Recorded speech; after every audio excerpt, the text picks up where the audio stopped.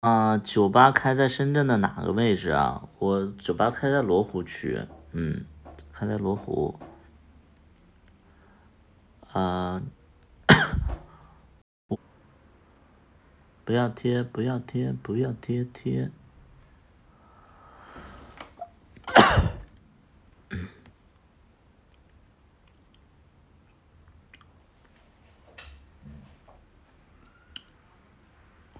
我去过罗湖口岸，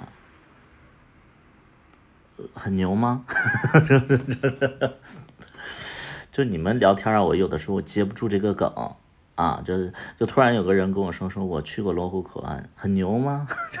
我就为什么突然跟我说这句话啊？就是，对啊，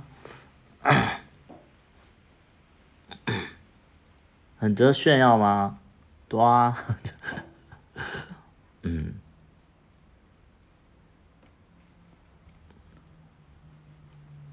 不要贴，不要贴，不要贴贴。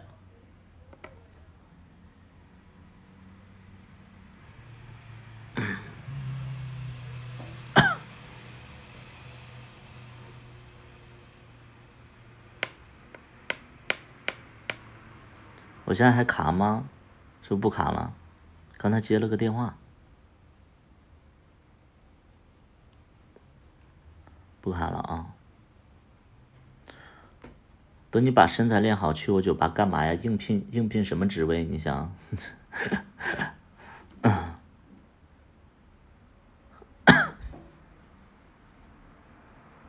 没解封。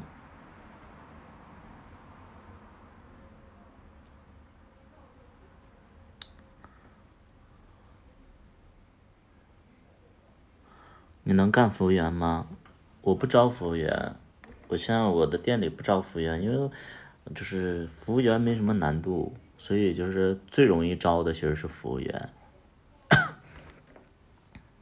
想做营销可以，营销其实可以的，嗯，营销就是可以，嗯，但是我觉得营销也需要情商高，长得好看，嗯，就是咱们就是先就是。就是都不用说什么营销会喝酒，就是你得长得好看，对，啊不用喝酒，其实你不用喝酒，你就是你你其实营销啊，其实就是高级的那种服务员，就不是说让你提供什么服务啊，然后让你去销酒，其实营销就是哎我关心你啊，就是就是说哥哥哎那个。晚上干什么呀？要不然我请你吃个饭啊！啊，我请请请你吃饭，然后你请我喝酒呗，咱们在店里聊一聊，然后给你介绍几个新朋友。就这样啊，这这就是营销啊，或者说营销，营销看到你的客人喝多了，那你就给他拿一拿一个毯子呀，给他披一下啊，或者说，哎，他下雨没带伞，然后就从吧台借一把伞，其实这就是高级的服务员。其实营销是这样的一个概念，不是营销，不是二傻子，不是在那块哐哐的往里喝酒。那你那你这么干营销的话，谁会喜欢你啊？而且就是呃一个酒吧里边，你你你一直在那块销酒。多多招人烦呢，对不对？长得一般做不了，做不了，是不是？这位胖子，请留步，你把嘴闭上，好吗？这位胖子，请留步，你把嘴闭上。刚才是你说的，我想做营销，然后你这就啊，长得一般做不了，你到底想干什么？你少给我没屁割了嗓子！你这个人很奇怪，你，嗯。老板便宜点，这个裤子便宜点，便宜点我就拿着了，啊，这个呃给你三十五，不行，我这身材不行，我穿着应该不好看，走了，脑子有病吧你？你病吧你？你生病了吧你？给你来点无极白凤丸，好吗？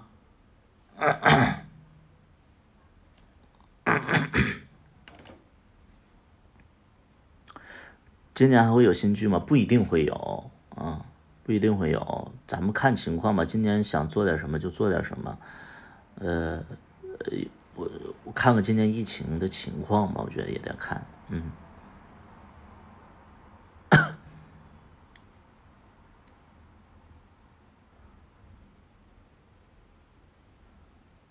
营销也得，就是其实营销主要是照照顾客人、接待客人，跟喝酒没太大关系。我觉得最低级的营销就是在那儿喝酒啊，那你就不会做人，你也不会工作。我觉得高级的营销就是你什么，你是你就是照顾他就好了。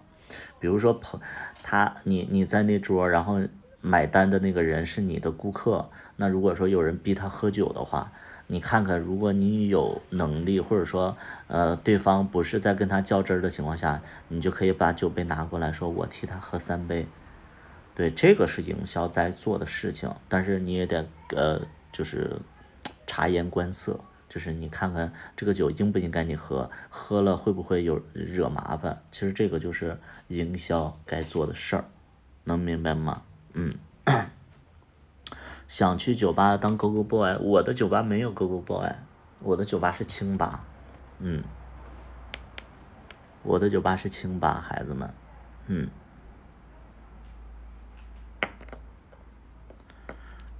不要贴，不要贴，不要贴贴，Come on here。Come here, come here, monkey, come here, come on, come on, come on here.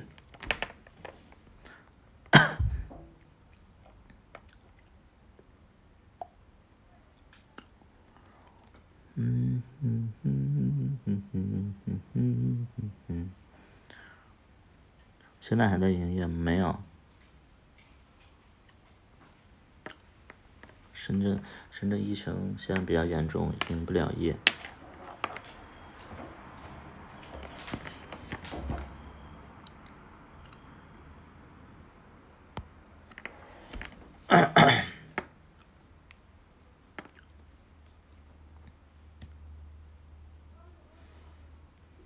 主要是拿提成，是要拿提成，也不是拿提成。我觉我们营销也是有底薪的，因为我怕有些营销就是不会做会饿死。对，因为我我一般都不是纯提成的那种公司组成，我都会给大家底薪，因为我觉得就是我不我不把我不把员工看的特别牛逼，就是这个牛逼不是。我我觉得是能力上的牛逼，就是我我觉得员工啊，其实他的能力都很弱。如果说他很强的话，他为什么不做老板呢？或者说他很强的话，他为什么还在我这种小庙里去去工作呢？他肯定是不行才才来的嘛。那不行，那我就对他要求没有那么高，我就会给他一个呃基本的工资，别让他就是这个月光靠提成，他没有提成他就饿死了。所以就是。而且现在出来打工的人，都比较都比较没有接触过社会，对，所以我都不会特别，我不会特别高看和信任，对，就是很多事情还是得自己来啊。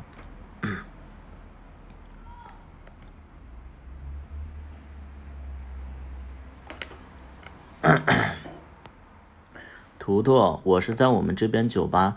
当驻唱，但是情况不怎么好。如果长得可以，身材好一点，在你那儿做什么呢？我建议就是这些，就是想找工作的，咱们去五八同城或者赶集网，或者说五幺 job 智联招聘。咱们这是一个直播间，不是一个招聘现场啊！回家等通知吧，好吗？咱们就是说，咱们就是说，在这块不要给我搞工作这一套事儿。我不招聘，哎，我不招聘。我我保证不了你们的未来的发展，可以吗？咱们就是找对地方，可以吗？哎，可以吗？真的很奇怪，你们这些很奇怪啊，你们很奇怪。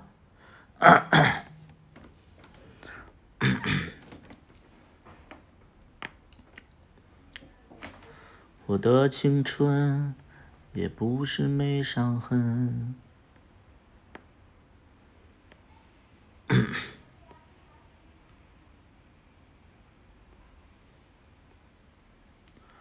我可以把你酒吧买了吧？你吹牛逼！我的酒吧太贵了，你买不起，孩子。我不知道你今年多大年纪，你要岁数大的话，咱们就是别喝假酒了。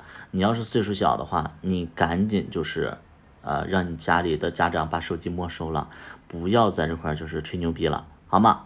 那你别吹牛逼。好吗？你别吹牛逼，这个事儿是一个不好的事儿，啊，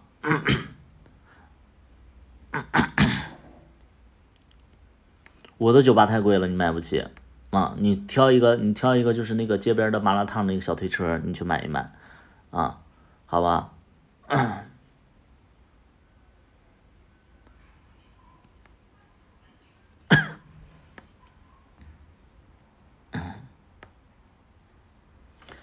我的青春也不是没伤痕。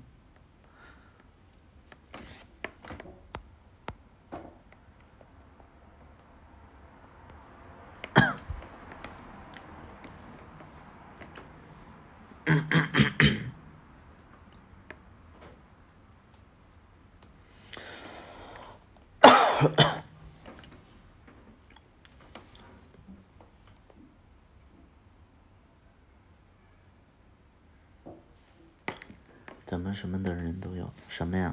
什么呀？什么什么呀？你是什么呀？你晨晨，你说什么呢？怎么什么都人什么人都有啊？现在这个行情干酒吧真的难搞，就是肯定难搞啊。同性恋男生和妈妈比更亲吗？你去那个社会调查，哎，你去那个给哪个栏目组打电话，你去做一个调研，好吗？我这直播间我真不想聊这些问题，好吗？好吗？好吗？嗯，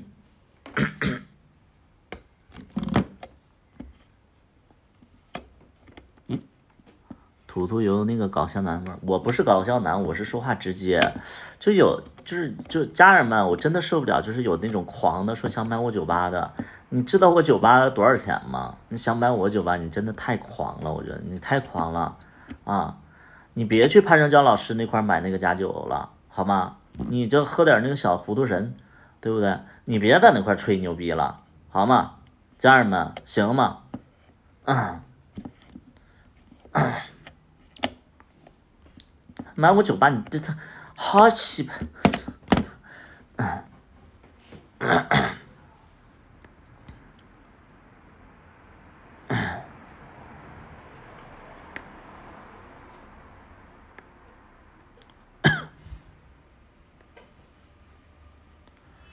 一个亿，嗯哼哼哼，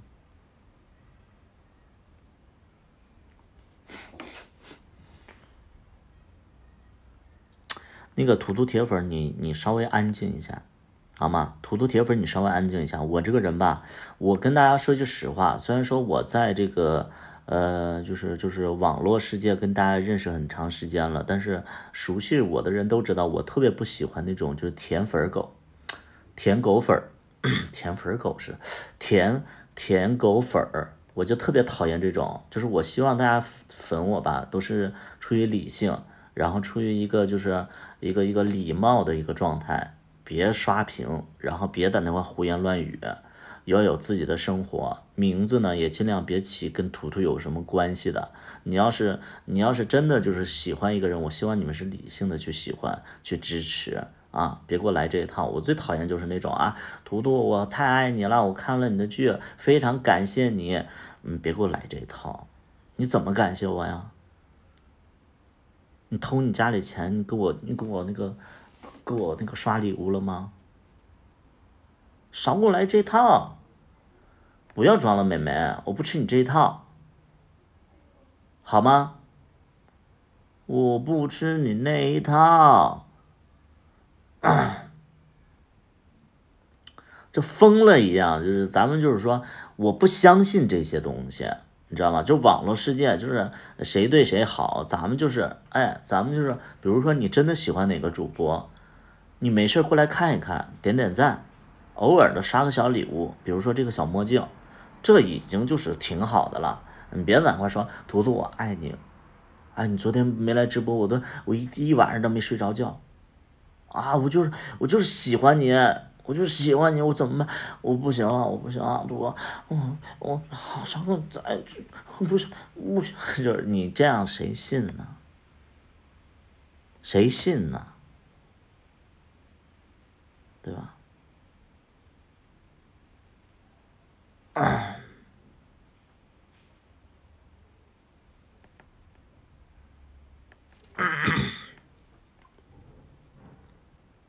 我不能配合你们的演出，啊，看你们尽力的表演，我真的就是做不到，就是我这我这人间清醒，啊，对吧？就咱就有什么说什么，你喜欢谁，你再喜欢谁，你你怎么了？你嘎腰子了，是不是？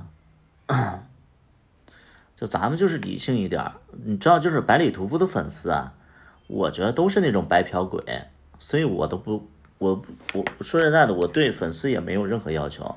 哎，有人说那个你粉丝那么多，你众筹一下呗？我告诉你，我要众筹，我一个粉丝都没有了。哎，你看这帮人好像是我的粉丝，我一说众筹，哎，那个龙二什么时候直播呀？谁谁是百里屠夫？啊，游戏啊，那那不叫那个百里百里。玄策嘛，对吧？对吧？哎，少来这一套，我不吃那一套，家人们，哎，嗨，给我来这一套！我告诉你，我从来不说我是为粉丝火的，因为粉丝也没真心的只粉我一个人，啊，这个叫。这个这个这个，有的人就是叫我说什么那个什么图图的什么什么图图的什么什么，过两天我去别人的直播间看见他是什么的什么什么，哎，然后加了好几个粉丝团，前缀都不一样，每个直播间的前缀都不一样，哎，这个叫百里屠夫百里屠夫的粉丝团，那个叫什么什么粉丝团，哎，每都不同的面孔，我要不去别的直播间，我去逮你，我都不知道你有这几副面孔。少给我来这一套，我不吃你那一套，知不知道？嗨，是，哎，给我来这一套。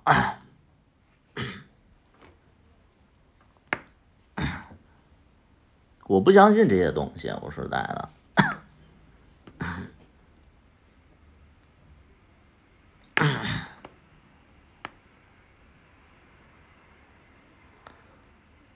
少给我来这一套啊！等级最高的就是我，我不在乎这些东西啊，我真的不在乎。就是你们说有多喜欢百里屠夫怎么样？其实我个人会觉得，你们能来看我一眼，嗯，就是我我就会觉得已已经挺开心了。因为其实你看我直播，我没什么才艺，我就是靠嘴在这块就是哔哔哔哔哔哔。那你看别的直播间又在那块翻跟头，又在那块那个呃吞针的，那他们的直播间也就是三五十人。有的可能还那个是那个就是，咱们就是家人在那块偷看，你看我直播间其实就是在这块逼逼，啊，人也挺多的，其实我就很感谢，就说明大家真的很闲，嗯，没就是也没有谈什么恋爱，对，然后也是对，嗯，也没有什么工作，也没有人约，你们不来看我直播间，你们去哪儿了？对不对？所以就是，我觉得，是我我希望我这是你们的一个放松的一个地方就可以了，嗯，可以了，可以了。我跟对象都在看你直播，那就行啊。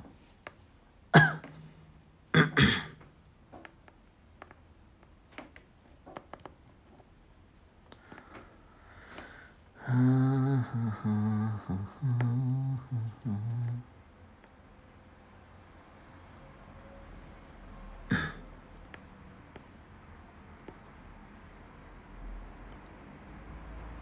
一般人都这样，是不是啊？咱们就是话别说的那么明白啊！我有，我真的不不不图的呀什么啊？就是有很多的主播，其实刚开始接触那个直播嘛，他们可能就是一心想去那个赚点钱啊，因为确确确实现在疫情就是比较严峻。但是我我现实当中有一个人对我特别好，所以我不愁吃不愁喝，对啊。我就我说实在，我带着那个三十万的三三十多万的这个手表，然后然后我就是就是租了一个一百六七十平的房子，我不比你们强多，是不是啊？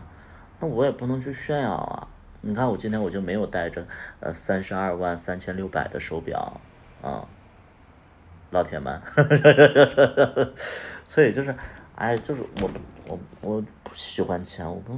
这钱上真的是没什么感觉，嗯，看到了是不是？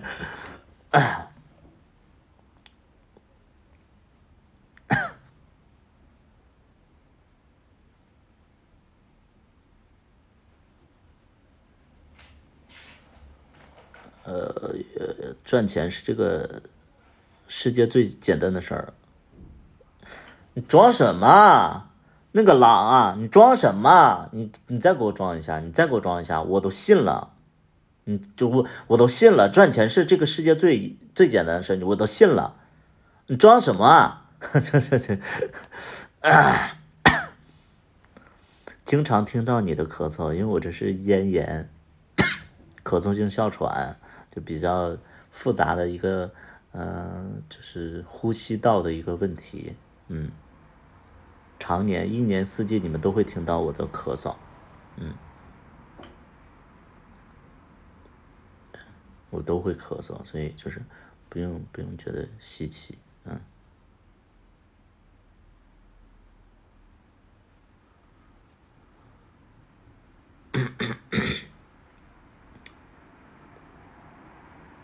有的医嘛，呃，有的医，但是就是是一个不容易治的一个问题，就相当于鼻炎一样。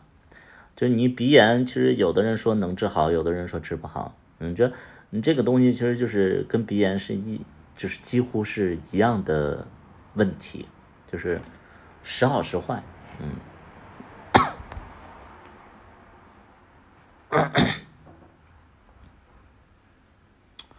那就是季节性哮喘，对，是这样。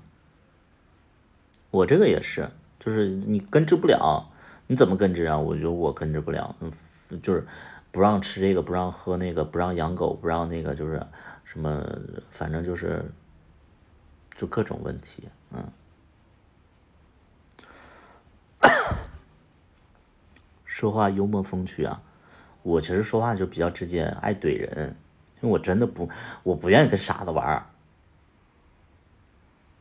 真的，我不愿意跟傻子玩有的傻子就是喜欢，就是别人哄他，我不愿意哄别人，啊，就大家都是一个这个这种什么众生平等，就是咱们都是一个水平线的人啊。可能我比你们就是稍微嗯帅气，然后稍微就是就是就是就是气质稍微好一点，但是这不代表什么，对吧？这不代表什么，嗯，所以就是我也不嫌弃你们，对，咱们就是说。嗯，对，就是咱们就是好好玩啊，咱们就是交朋友，嗯，就是这这这说，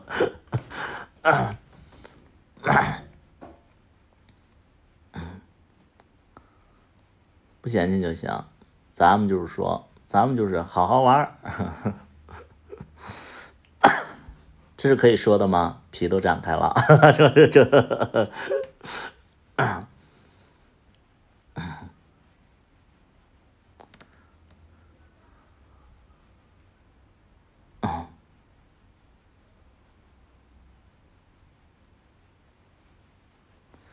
嗯哼哼哼，嗯嗯，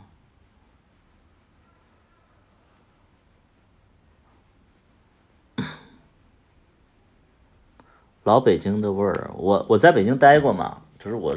我我的没有刻意去学老北京的劲儿，就是，但是有的时候会说话赖叽的。我就最讨厌一个歌手叫金志文，他是他就是唱歌就赖叽的，就是这哭金叫嚎的，你知道，这金志文就是哭金叫嚎的唱法。我觉得杨坤都比他就是 稍微好一点，杨坤是那种就是难受那个劲儿，但是那个就是。呃，金志文是那种赖鸡的牙疼的那种感觉，反正就是杨坤稍微好一点，可能杨坤就是听比较久了。杨坤好看呢，那我倒不至于吧，我不至于。嗯，就是我喜欢杨坤啊，不是因为杨坤好看，嗯，那倒不是因为这个，就就就啊。今天的鱼尾纹和眼袋好明显，是帽子，我一直都有。嗯嗯，有的人说是因为帽子的原因吗？那不是，那倒不是因为这个，一直都有。对。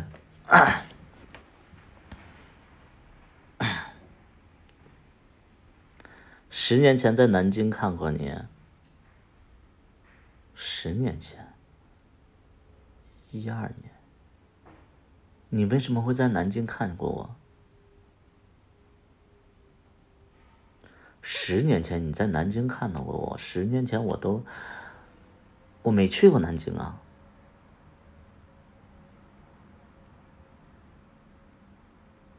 你少给我攀亲戚啊！我告诉你，你们这帮就是你们这帮你们这帮就是一直在给我攀亲戚的。十年前，十年前我我在干嘛呢？我在上班呢，我在我我在上班呢。嗯，少给我来这套！我告诉你，攀什么亲戚？你在酒吧唱歌，十年前我怎么能在酒吧唱歌？你再给我编，你再给我编。十年前我在对抗金轮法王呢，我。这是再给我编，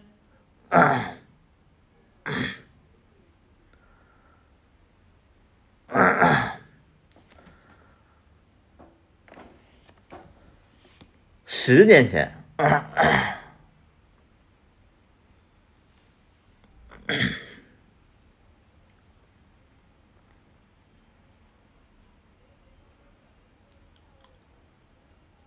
咱就说就是。这真的是，哎呀，对啊，二十一，二十一岁啊，二十一岁，我怎么会在酒吧唱歌哦？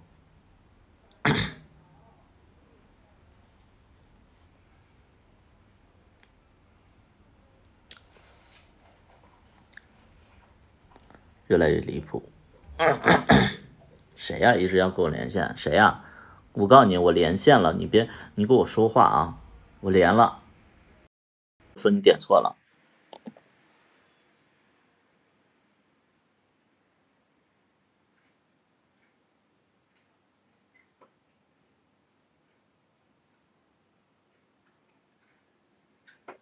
你这啥玩意儿？你连线了你不说话，神经病，神经病，神经病。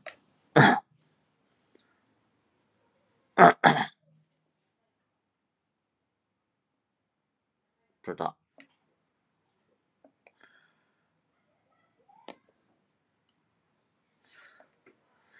不离不弃。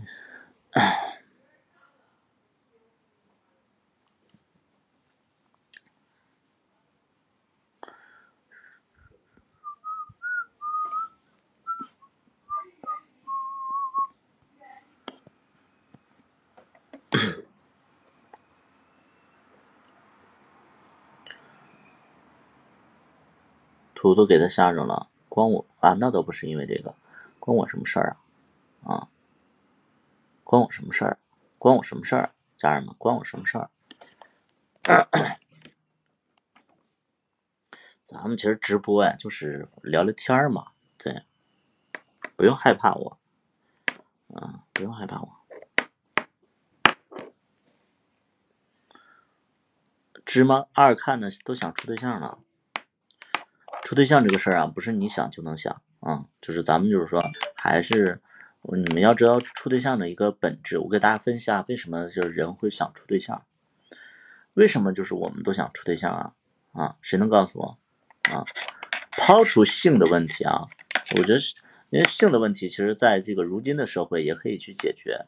为什么想处对象？我给大家说一个，呃，大多数人的一个一个处对象的一个缘由，就是。呃，你生活当中其实也会有朋友陪你玩儿，但是呢，你生活当中朋友大家都都有自己的事儿，或者说都会处对象，所以呢就不能总陪你，那你就需要有一个就是超过朋友的一个关系，然后能住在一起，能够更亲密的一个关系，那就是对象了。对象能，呃。比朋友要更有时间的去陪伴你，所以这就是对象的意义。但是如果说你平时是有朋有有朋友的话，或者说你也不在乎就是是对象的方式去发生那个关系的情况下，其实你就没必要处对象。你像我，我现在我说实在的，我我就会觉得说我没必要处对象，为什么呢？因为我一直都是孤独的。我都其实都习惯了，然后我自己自己解决也挺好的。我这个我这个手速啊，包括咱们的这个一个力度啊，我自己我会知道我自己需要什么，可能跟别人在一起可能还不如我自己，所以就是我会觉得暂时我就不想不想谈恋爱了，对我就不想谈恋爱了，所以呃，我会觉得就是现在就这样吧，就我觉得就是不着急，我不着急，等我想谈恋爱了，我觉得我身边也会有有合适的人，那我就再谈恋爱就好，了。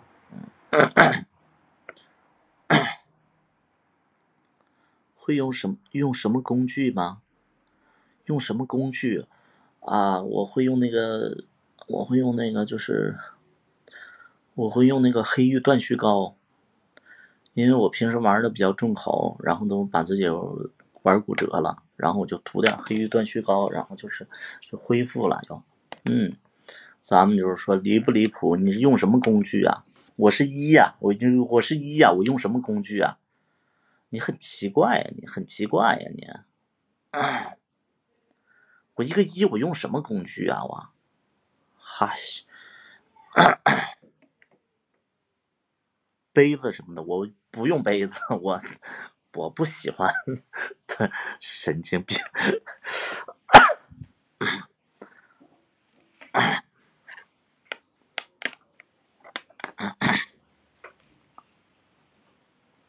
我没有那个，就是我觉得一般一都不用工具的啊。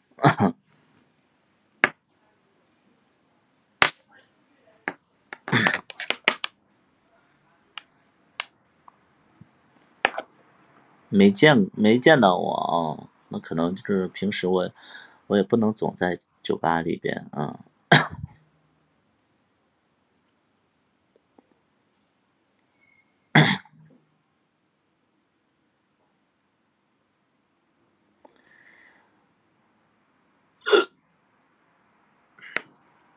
在深圳，在深圳，在深圳。我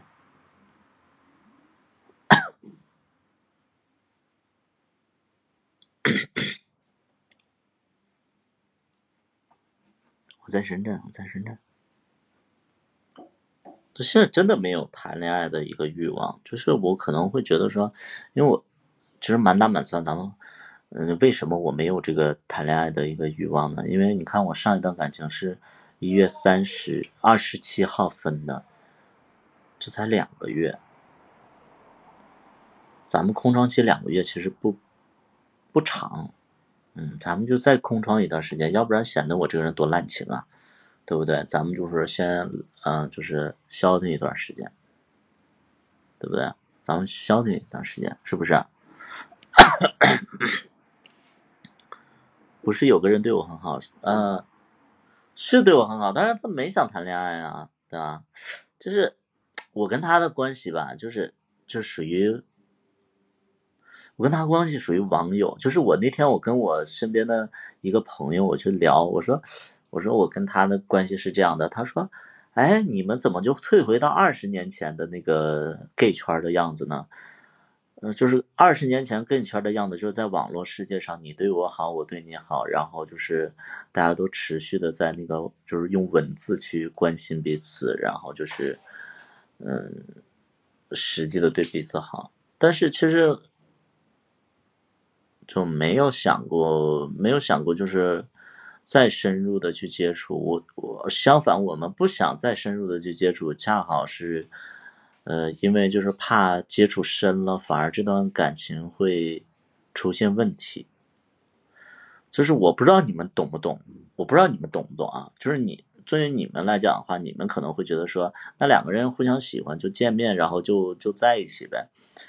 其实是因为，就是我为什么不往前走一步？因为我我我其实。你看，两个月前的感情是失败的，包括这么多年，这么多年，你看我失败了将近一百多个了。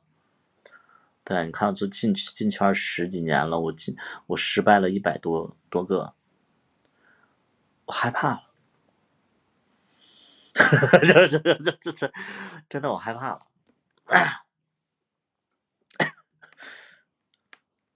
这你们不懂。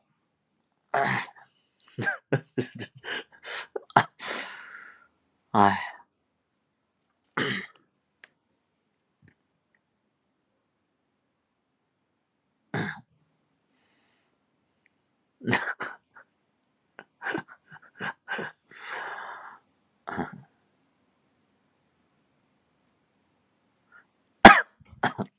前天晚上还说五十多个，现在一百多个。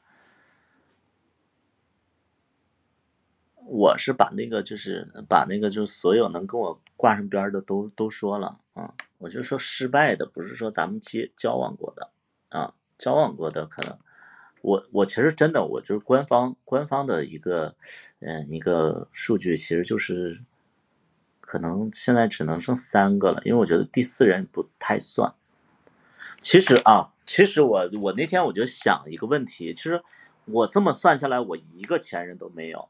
你看第一任那就不懂，然后在一起就是没呃没两个月就分了，然后后来就是无情无尽的拉扯。第二任是那个龙二的前龙二的那个就是前身，就是龙二的那个就是原型，然后我又是呃那个知三当三梦美图，那其实也不算前任。第三任呢是呃就是两三也是两三个月。虽然我很喜欢，但是也是两三个月，也不算。第四任呢，虽然说在一起稍微时间长一点，但是没事儿，是没有那种感觉。然后也是异地恋，所以你说这这能算吗？这能算吗？我觉得这这这这能算吗？我这这不算吧？我就觉得我现在一个算是我的前任的都没有。嗯。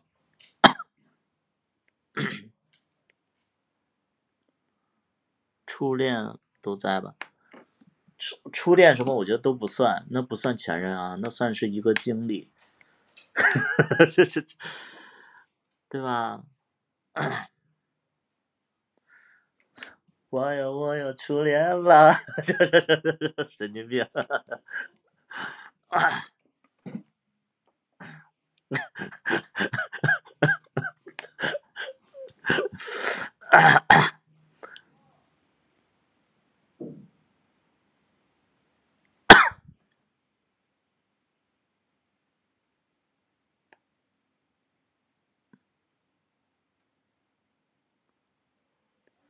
我真的会觉得说这不算，我觉我就是在我心目当中，就是我觉得前任至少得是互相喜欢，然后在一起半年以上，然后就是一起生活、一起经历的，我觉得这是前任，其他的我觉得都不算。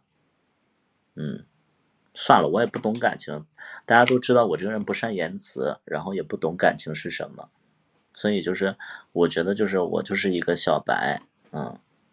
没有超过半年的，异地恋有超过半年的。你说异地恋超过半年的，那那算前任吗？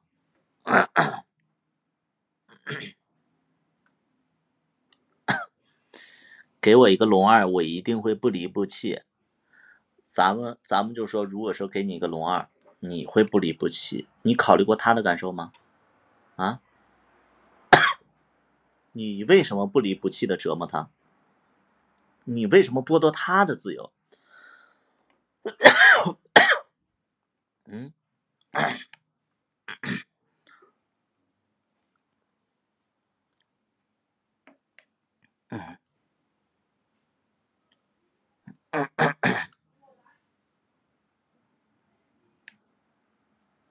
不离不弃。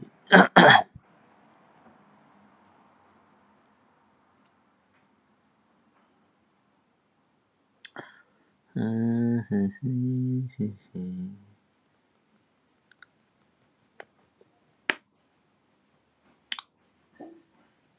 没有长久的，真的没有长久的。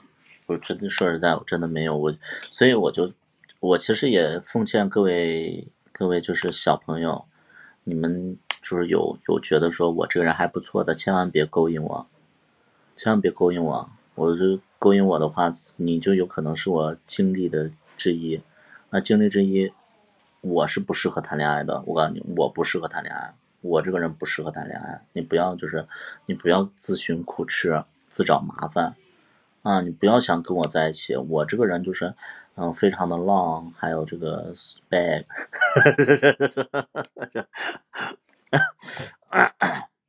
嗯。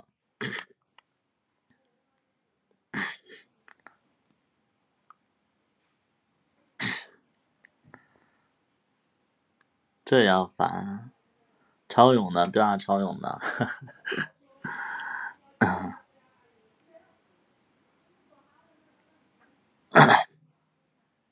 好啦。呃，这呃，就是嗯，好啦，嗯，it's like it's like 呃。a train a train yeah it's like it's like a train yeah 就。对啊，对啊，对啊，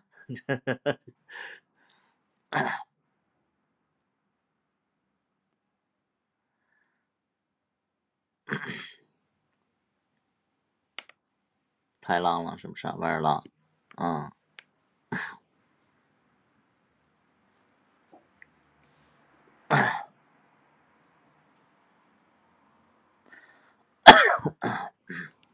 来看，好呀，拜拜。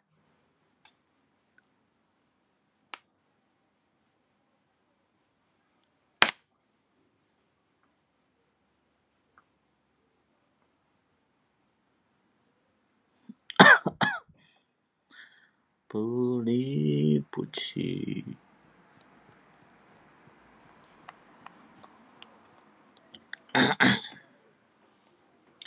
我就挺希望大家喜欢我是，就是能区分开，就是剧里和现实中的我。我希望大家喜欢现实当中我，因为剧里的我其实不是我，啊，剧里的我不是我，现实中的我是我。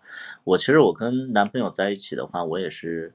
如果说你年纪小的话，我是非常没正形的那种，就是我会我会逗你笑啊。如果你是年纪大的人吧，我可能就是说我会我会扮演个智障，嗯嗯吃什么？就是 我可能就是现实当中就是会比较的比较的会区分开，对，就是嗯，就跟剧里不一样，对，跟剧里不一样。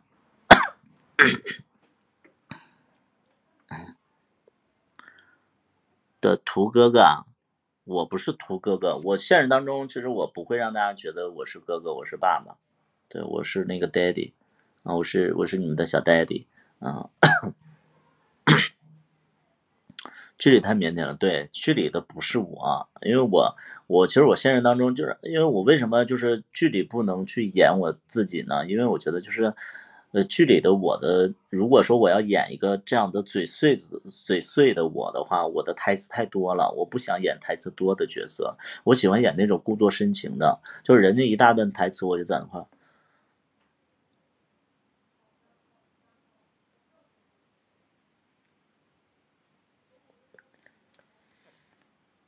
好，走。就我喜欢演这种，你知道吗？就是我，你让我在这块嘴碎，在这块一大段长词，不行，我不演，就是我不演，就是就，对不对？有一种恍然大明白的感觉，就是这种，对，对你让我背台词，我没时间，我没时间。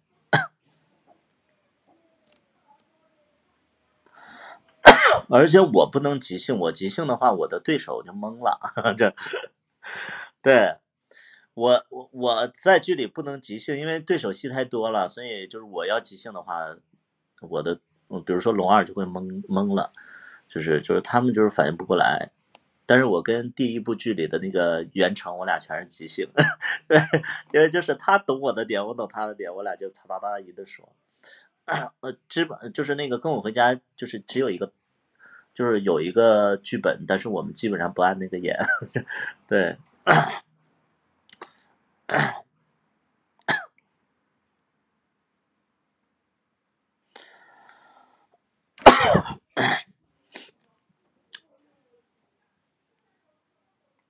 所以芝麻全是临场发挥，咱们就说这位朋友，你连听话你都听不懂，哎，这位朋友，你的字我看不懂。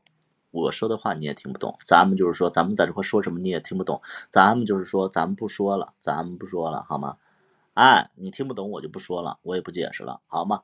好吗，家人们，好吗？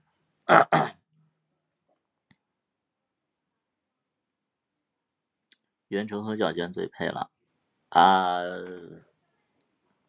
还行吧，嗯，袁成和小娟就是虐恋嘛，嗯，呃，也就是芝麻算是属于呃郭明磊的周明磊，周明磊的个人的一个 情感经历嘛，对，芝麻芝麻算是个人的情感经历嘛，对吧？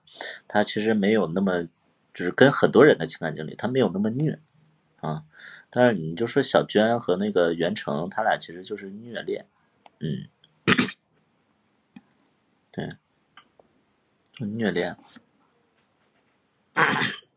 而且芝麻二，我觉得我芝麻二就是，呃，纯粹是宠宠粉剧嘛，对吧？芝麻二，我觉得你们能，你们其实就是有的人说芝麻二的那个剧情啊，就是太，呃，太意外了，因为你们看我其他的剧，你们都会觉得非常虐，为什么芝麻二就是跟跟以往的剧不一样，所以你们会觉得很意外。就是因为这个，因为芝麻二其实就是完宠完全宠宠宠宠粉剧，对啊，它不真实是的，嗯，所以它不真实。但是就是芝麻二也是为了，我觉得芝麻二一是为了宠粉，二是为了宠龙二吧，因为我觉得就是龙二有很多的可能性嘛。因为芝麻一的时候，龙二的演技被严重就是低估了。所以我芝麻二我就单独的拍一个剧，想想让龙二就是展现出他的演技的高超的一面，因为芝麻一和芝麻二的龙二完全是两个两个状态，所以我让大家看看，就是我我挑的演员，我觉得好的演员，他其实是真的是应该是这样的，就是他什么，就是他是不同的风格的人，风格的就是不同的类型的角色，他都能诠释得了，对吧？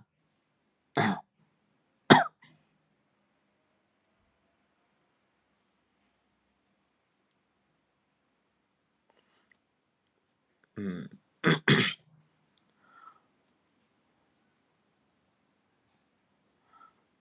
没有芝麻三龙二，可能未来可能会出现在其他剧里吧，但是我不想拍芝麻三了，我想拍一个新的一个单元，想去。想去做一个新的单元，不想做芝麻了。芝麻，芝麻，芝麻二的剧本其实就是没有想做第三部。第三部我觉得就是很无聊了。嗯，就很多东西你你要是往下做的话，就相当于像做爱情。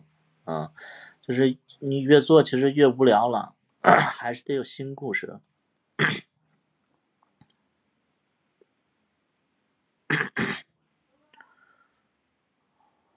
下次做个开门，然后出个电影芝麻开门。我不是老，我不是老明啊，我我真不是老明，我真不是老明。你这个人真的很无聊，你这个人就说话就是咱们咱们就是说你这个人说话非常的冷啊，我就觉得外边的空这个那个那个温度又降了几度，真的你非常的冷。你平时也是这么就是讲冷笑话的吗？你真的非常的冷。哎呀妈！我就觉得温度骤降了，我要穿一个尼龙大衣了。我要，嗯，有被冷到是不是？非常的冷。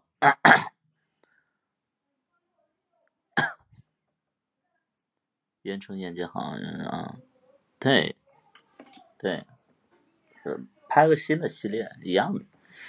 就你们，你们真的，我就我就了解咱们观众啊，我就了解咱们观众，因为我我拍了就相当于两个单元了，一个是芝等我等我回家，一个是芝麻。在拍芝麻的时候啊，底下的弹幕就说谁也比不了袁成啊，谁也就是 我只爱袁成，我觉得就是跟百里屠夫搭戏的只能是龚大虎，就是爱到龚大虎到不行。结果呢，芝麻出来以后。爱死爱死店长了，我就觉得店长怎么这么好看，怎么怎么样，然后就开始了。结果芝麻二出来说，龙二怎么这么可爱？告诉你们，就是你们就是什么呀？你们就是 见一个爱一个，爱一个见一个，见一个爱一个。你们就是没有原则，你们是没有原则的观众。我告诉你们，你们别在这给我装了，装什么呀？装什么东西呀？什么东西呀？你们装什么？给我少来这套了。干，别给我来这一套。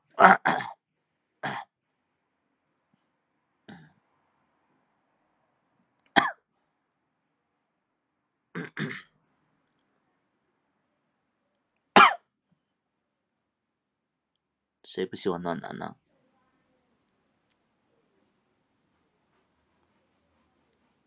你可以不戴帽，你可以不多管闲事儿吗？你可以不多管闲事儿吗？干，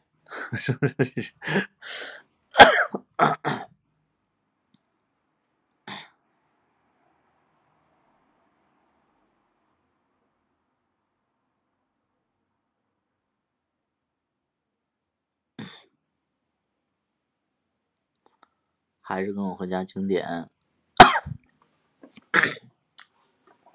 我拍新剧，你们又会说芝麻好经典，太了解你们了。只是因为，因为我觉得我我我选演员的角度，我觉得也是我成功的秘诀吧。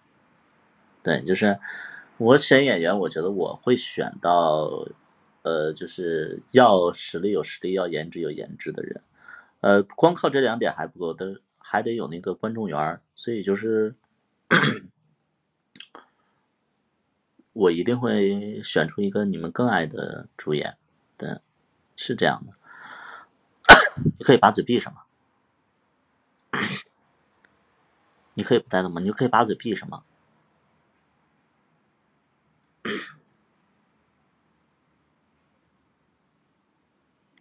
我就是主演，我其实是大配角啊，我其实是大配角，因为我我演不了暖男，我说我演不了暖男，为什么呀？因为我这个个性，我就我就做作不了。暖男都是什么呀？暖男都是那种什么呀？就是，哎，你要不要喝点水啊？刘凡你嘴唇都干了，你嘴唇干的话。就会起皮，你起皮的话，我就想给你咬下来。我一咬，你的嘴皮都没了。所以，你能不能喝点水啊？我看这就是暖男。你像我要演，我说你傻呀，你不知道喝水啊？你看你的嘴皮子都啥样了？好像我虐待你似的，赶紧我喝喝，快点喝，不喝是不是啊？大嘴巴抽死你！不喝，真的我是这种，对，是就是。我喜欢演那种，我就不喜欢演那种，就是在那块做作的那种。对啊，就是 完全做作不了。我现实当中我也不是那种暖男，我要演暖男的话，我非常做作，我就觉得非常做作。就比如说，就比如说我特别喜欢一个人，我都不会看着对方。就是比如说啊，我跟一个我跟一个就是我喜欢的人，我要当暖男的话，我肯定就是我俩肯定不会坐对面。我会悄无声息的，就是假装偶遇一样，我坐在他旁边。比如说，比如说，这是我，这是我男朋友，这是我男朋友啊，这个区域是我男朋友。我给大家演一下，就是我，我生活当中做作的样子。来很久了，没有，我也刚到，是吧？吃点什么呀？羊肉炒大葱吧。好，给给我来一份羊肉炒大葱，不要羊肉，只要葱，谢谢。快吃，点了你最爱吃的大葱。就我会觉得我就是这种，就很做作，对我真的是受不了，受不了，受不了，受不了。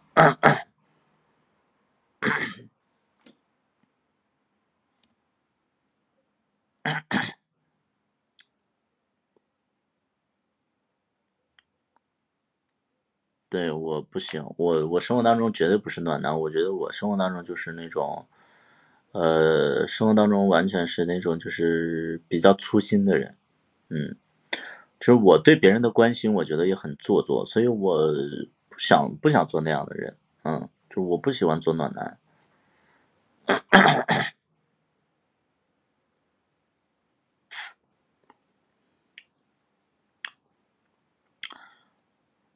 看《巴啦啦小魔仙》吗？我没看过，但我知道，我知道这个剧。嗯，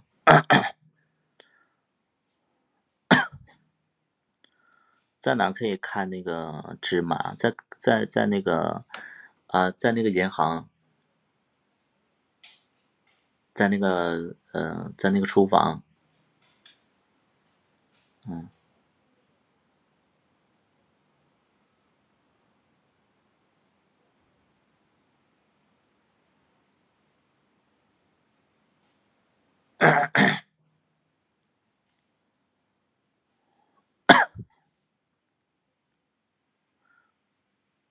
不要贴，不要贴，不要贴贴。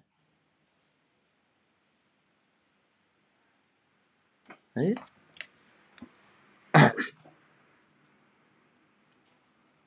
哎，哎，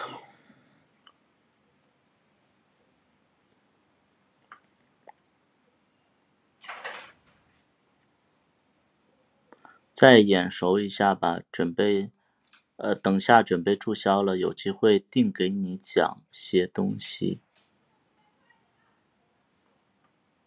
什么呀？我真不是老明，我真不是老明，我真的就觉得你说话我听不懂。你说什么我听不懂，啊，就你这个人就说话比较无聊，然后呢也不好笑，啊，什么等会儿要注销了，就是喜欢把一些人藏心里。什么什么什么东西啊？什么东西啊？你不要不要不要不要不要鸡皮疙瘩起来！不要不要不要！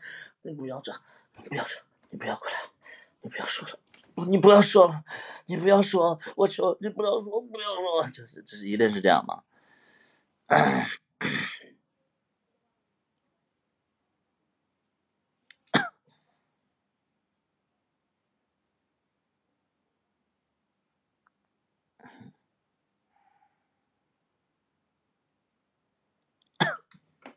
就呃，我我不是有那个亨利的，我有那个亨利的那个朋友圈朋友圈嘛，我有他微信，然后亨利就发了一个朋友圈说，那个有一个有一个他的微信好友给他打电话说要退圈了，然后要把他删除了，然后我就在评论区底下我就说没活明白，他为什么要退圈呢？因为他。嗯，就是结婚了嘛，结婚了以后他就要退圈，然后跟亨利说要把他那个删除了，然后那个就就就给他打个电话，没必要，我觉得没必要，没必要，没必要，就是，我是你的大马的粉丝，我是你大马的粉丝，什么呀？什么？我我只要明年，我的都有噻。博泰也 talking about？嗯？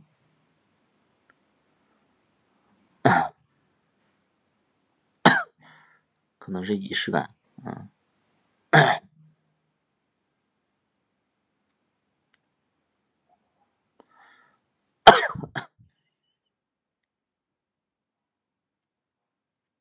马来西亚的粉丝，马来西亚的粉丝叫大马呀！啊，你们那边管管管你们国家叫大马呀？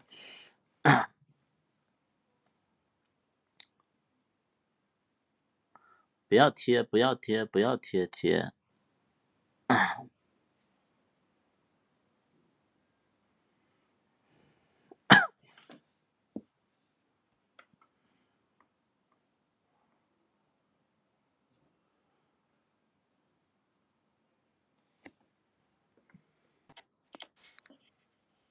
喂 喂喂。嗯，能听见。我我那就是想解释一下嘛，没，真没真没什么别的意思，也没没别人说的那么夸张，就是性格比也是属于那种比较古怪的一点，然后不太喜欢跟别人说话，不太喜欢跟别人交朋友，然后其实这个是那个时候最开始最开始我是。在两个月前都想着准备跟你连一下了，想着聊聊天什么的，然后结果每次发弹幕，发每发了几次都被怼了，然后就觉得可能是一些，要么就是真的我话不会说话，话经常说的特别难听，要么就是 还年纪太小了，然后有点代沟，就。谁的年纪小？我的年纪小还是你的年纪？我肯肯定我呀，你听不出我声音吗？那肯定你呀，你干嘛说这种话呀？因为因为我肯定你啊？之前发什么肯定你啊？什么肯？我为什么要肯定你？明明是我年纪也小啊，我干嘛要肯定你啊？你这话的意思就是说肯定是我年纪大，什么意思啊？你什么意思啊？我意思是我年纪太小了，你年纪很好，这可以吧？嗯，是个人话。继续往下说。然后那个时候就在学校嘛，在学校就天天想着想跟你连麦，然后不过肯定就是只是想跟你聊聊聊天什么之类的，然后结果就一发弹幕就挨怼，一发弹幕就挨怼，那你为哥，慢慢我我就想问一下，你刚才为什么说芝麻开门那个冷笑话？那时候就也不知道，就感觉那时候就差不多也想着就开个玩笑嘛，就活跃活跃气氛。啊，好好笑啊，好好笑啊！别别别别别别别别这样，这样有点那个什么的吧。然后你今年多大了？十七了，十七，十七还在上学吧？对。然后我我们这边是因为疫情的原因放假了，疫情的放假了，你现在是在上高中是不是？对对，那你为什么不现在高三了是不是？高二高二，高二为什么不好好学习啊？所以说所以说准备要把抖音号注销了呀，以后你现在注销啊！你现在注销吧，然后那个以后就不要再那个来看我了。我觉得咱们就是认识一场，我就祝你前程似锦。然后就是如果说有朝一日你学成归来，你你刷点礼物。如果说你刚才学成不归来的话，咱们就是说什么呀？咱们就是说你好自为之，好吗？刚才 就是把自己的东西，把把这号上的东西都刷了嘛，然后你不要给我刷，你十七岁，你不要给我刷，你现在你不要跟我刷，我不不等你两这这这这是我我自己我自己打工的打工的是你自己打工的，但是未成年人你不要刷礼物，咱们就是一定要把这个口号喊出来，未成年人不刷礼物，好吗？咱们就是平台把这个钱会退给你的，好吗？好的好的，嗯嗯，以后咱们好好学，好好学，不要再讲冷笑话了，因为咱们这现在就是，嗯，就是是真真的就是心情不是特别好。你再讲冷笑话的话，当然可能未来两年全球变暖，你还是继续讲冷笑话，可能会觉得，对不对？好了，就这样吧，拜拜。好的好的好的，拜嗯，拜拜拜拜拜，嗯，以后以后好好学习，好吗？不要像百里屠夫一样啊，只有美貌不行的，这个不行的，在这个社会上不只有行美貌是不行的，好吗？我也我也想好好学习呀，可是拜拜拜拜您呢？可是你太帅了呀，拜拜拜拜拜拜。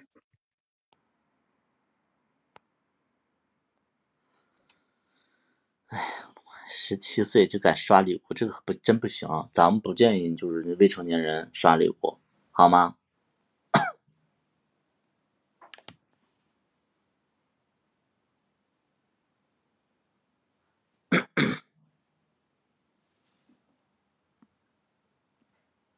未成年人咱们不要刷礼物啊，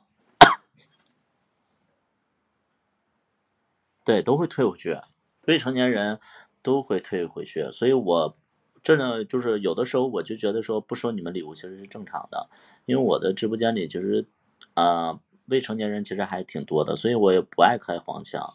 我说的这个黄腔，其实有的人能听懂，有的人听不懂，所以我尽量不去说，因为年轻人他把持不住，他可能听到我这个开黄腔，然后他就是在荧幕前，在这个手机前，他就搞一些小动作，他的他可能就伤身体。这个我不愿意开这些玩笑，因为真的是你们把持不住，嗯，真的把持不住。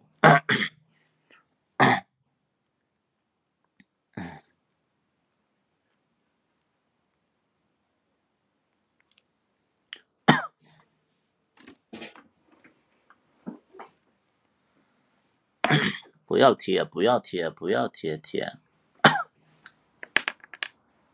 初一都有，对啊，初一都有。就是我在我说实在，我在上学的时候，我们都没有手机的。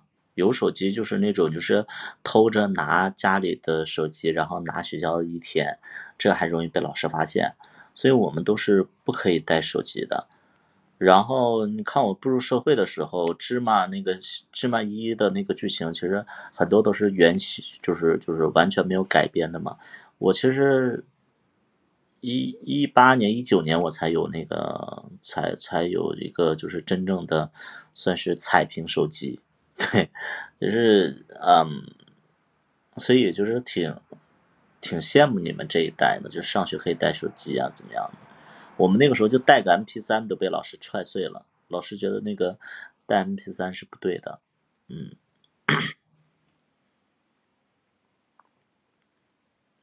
我这年纪哪有手机？对，没有手机啊，有手机。我什么叫我这个年？我这个年纪上学没有手机？我我是在那个民民民国初期吗？啊，你讲话很奇怪啊！你这个人什么什么安是安的什么心呢？你你真的是你真的是你坏呀你！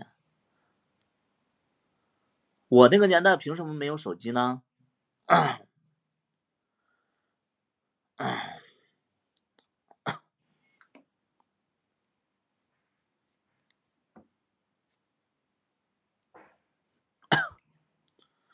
我我我们那个年代就是三星和诺基亚，嗯，三星诺基亚，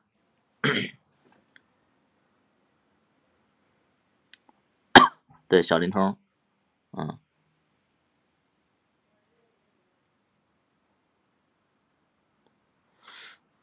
摩托罗拉对摩托罗拉，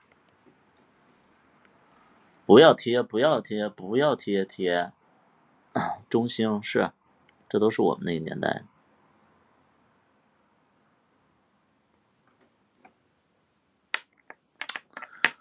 哎呀锦鲤，锦鲤，锦鲤，荷塘月色，我想着雨儿。Sorry，不好意思，今天这个没开嗓，要不然我只能给大家唱一首《青藏高原》。对。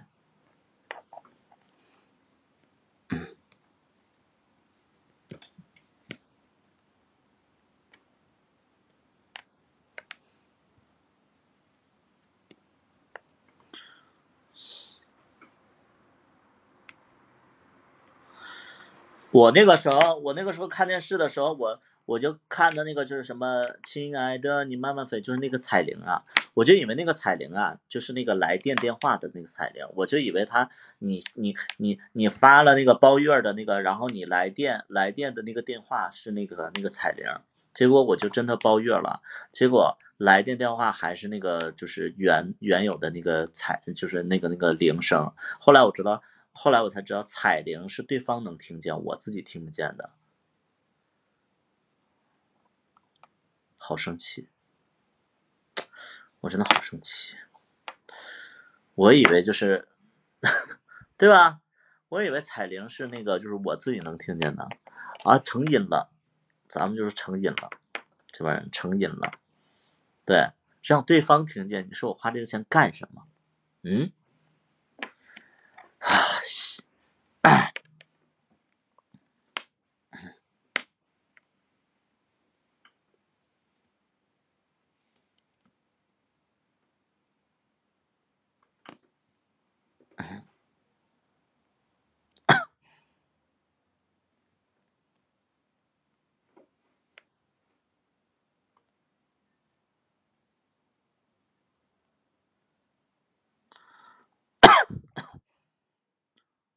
呼呼呼！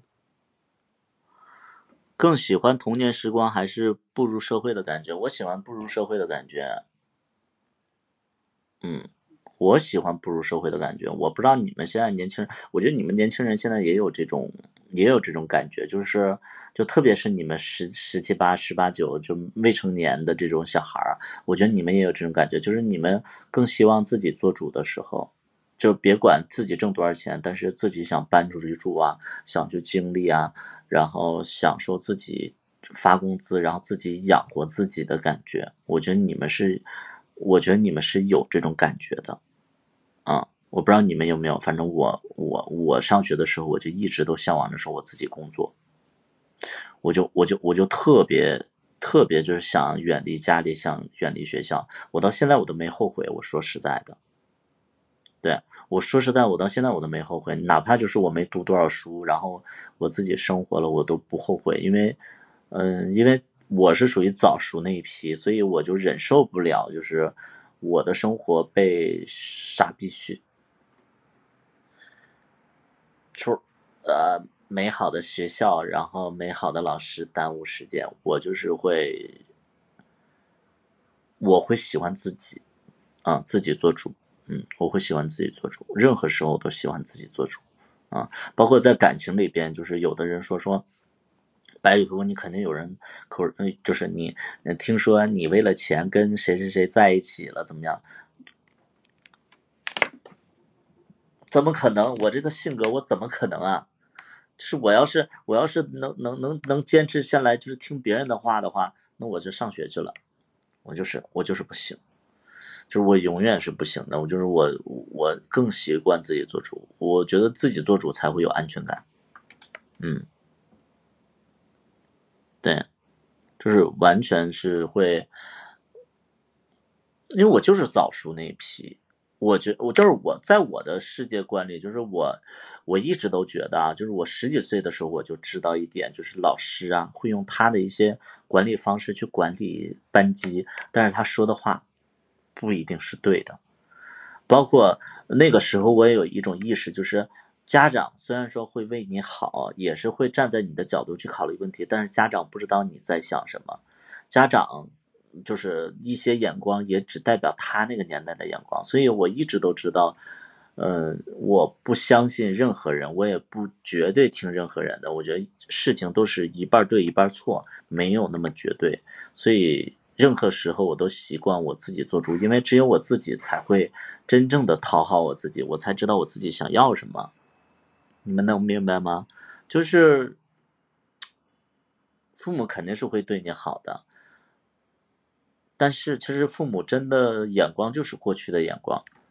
你们可你就是我现在不不去不会去劝你们这帮小孩要有自己的主观意识啊，但是我一定要让你们知道，就是说，现在你们如果说真的面临大学选专业专业的这个事情。一定要遵从自己内心，你们喜欢什么，你们再去选什么，不要因为它的前景好，你就去选一个专业。这个前景好这个事情真的说不准的，因为你看现在全世界也好，包括咱们地球也好，都在发生巨大的变化。你所谓的有前途，你父母所谓的有前途的专业，那可能到你们那一代，咔嚓一下子没有前途了。你你现在就是。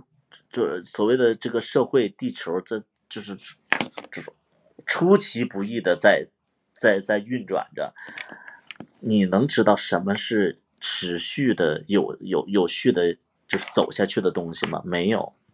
所以你一定要去选择你自己喜欢的东西。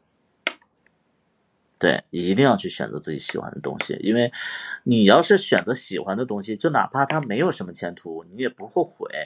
但是有些东西是。你不知道他有没有前途，然后你还会后悔，啊，就真的是这样。父母真的会为你好，就说什么你去银行吧，你去怎么样的？我觉得这个是没问题的。但是这个去银行适不适合适合你的这个心理啊？你这个人可能就是偷鸡摸狗，你挪用公款，你在银行这种，嗯，在这种银行这种单位，你不适合你自己，你容易把自己栽进去。对不对？咱们就是说，咱们就是说什么呀？你得了解自己，嗯，你不要做财务，对不对？你不要做财务，你去搬点铁，对不对？你去，你去，你去撸，就是那个，就是砌点砖，是不是？咱们就是说什么，就适合自己，啊，适合自己，千万别去就说听父母的。父母他们如果你。我还是那句话，你要真信长辈的话，你有那些努力的长辈，或者是有那些优秀的长辈，你可以听一听。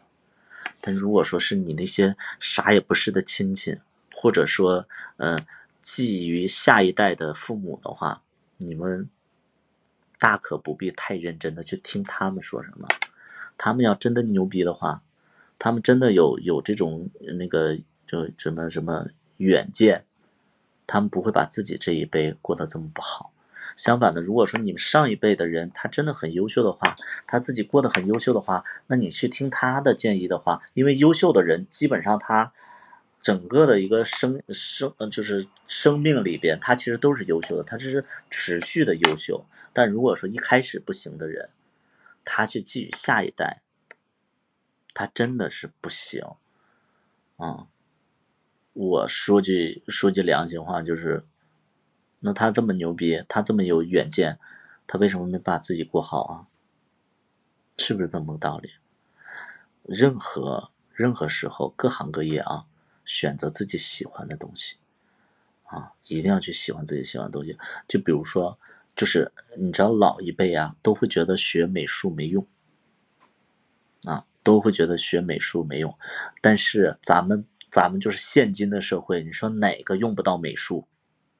你们就你们就仔细去分析这我这句话，就是现今的社会的各行各业哪个用不到美术？嗯，哪个用不到？各行各业都能用到。你就仔细去听听我说这话。你比如说，你做个那个什么那个装修的行业，是不是得用到美术？嗯，你是不是得用到美术？你装修，你对色彩啊，包括你做你做那个就是什么，那个那个园园林艺术，你是不是得用到美术？对不对？你比如说，你你想找个对象，你是不是得用到美术？你绿色调的惨白，然后你的那个就是那个就是那个图片不对称。它是不是不高级？是不是？都是会用到美术的，所以说美术真的是一个非常好的一个行业，嗯，真的是特别好的一个行业。就是大家如果对美术感兴趣的话，学一学真的挺好的，真的挺好的。就是美术这个行业真的挺好的，啊，就是你你不做就相关的东西，但是你的审美、你的品味也会提高上去。啊，真的会提高上去。就是美学美术的人对颜色比较敏感，嗯，对搭配比较敏感，对不对？那你你你的生活品味上去了，自然会有人就是能看到你这个品味，所以就是愿意去接近你。如果说你埋了吧胎的，你照片你就是那个模糊，然后就是家里乱七八糟的装修，就是跟那个就出租房似的，还花了四五十万，那你说谁愿意接近你？是不是这么个意思？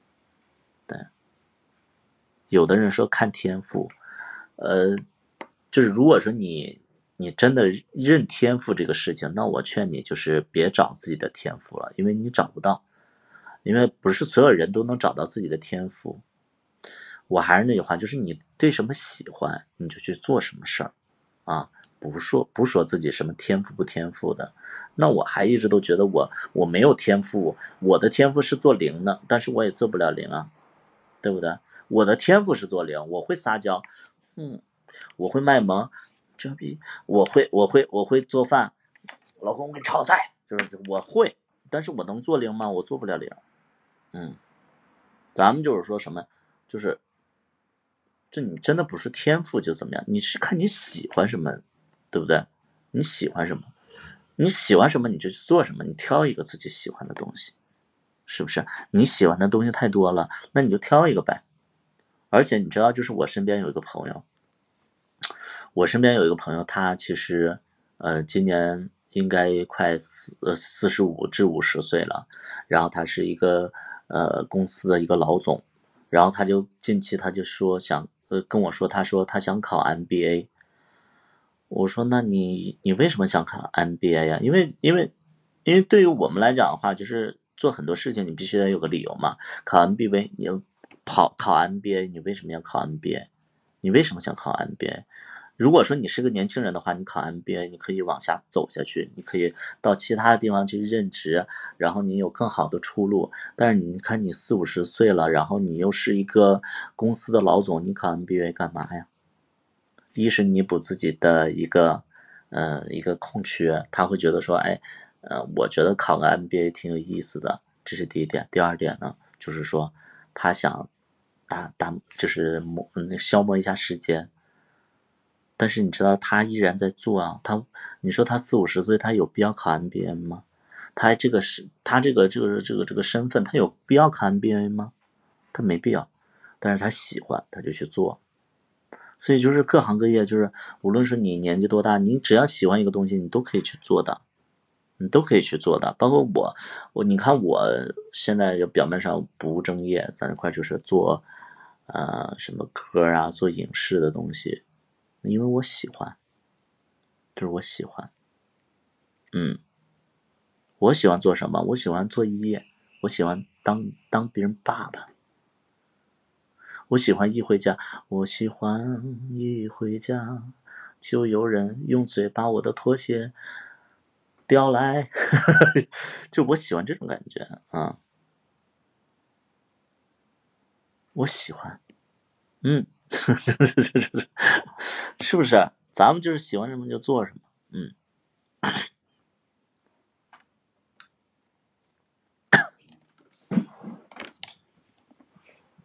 真的是这样，就是没有什么，就是有梦想谁都了不起嘛。你看，你看，现在是一了吗？我也不确定我是什么，我不确定我是什么，嗯，是我。我，我，我还先做个人吧，就我先做个人吧。就我觉得，我觉得在你们心目当中啊，我百里屠夫是一个海王，嗯，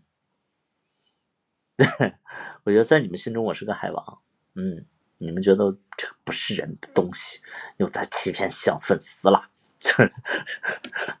嗯。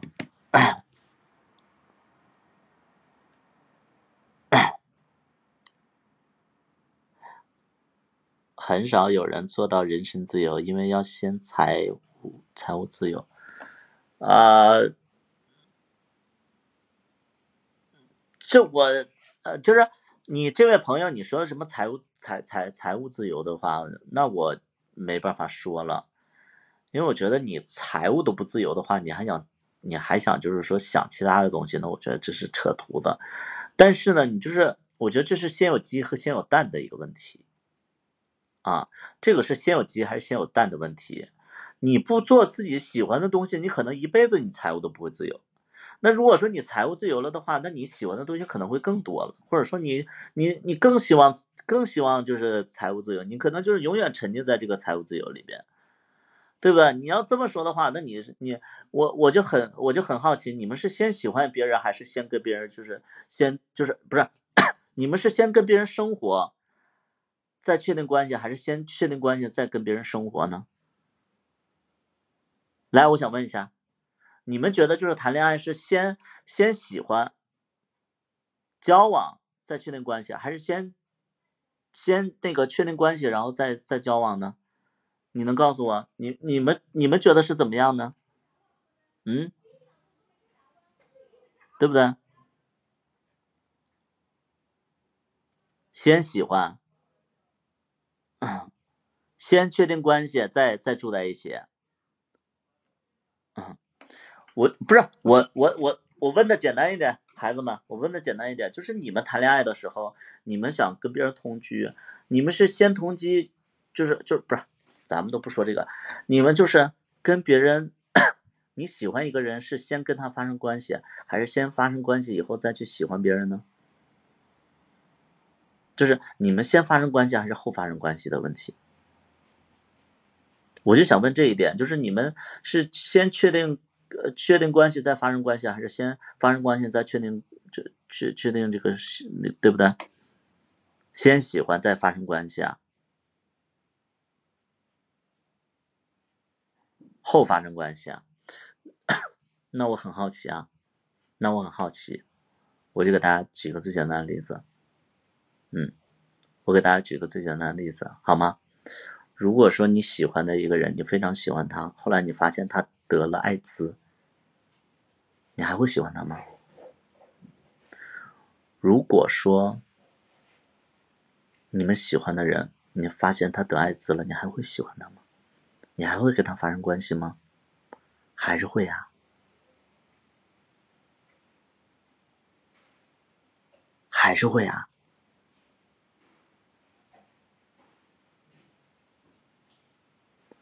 会的朋友，我就希望你们就保护好自己。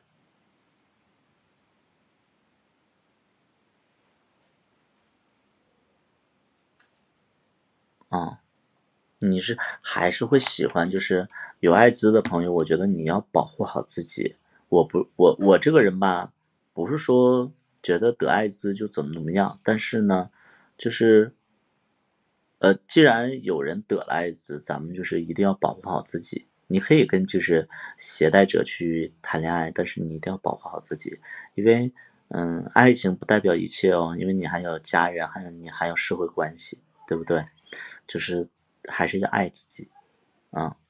而且就是我也不希望大家对这个艾滋的呃朋友太过于关心了，因为我说句非常现实的话，就是他们也不需要别人关心，就是你关心的越多的话，其实也会让他有负担感，是不是啊？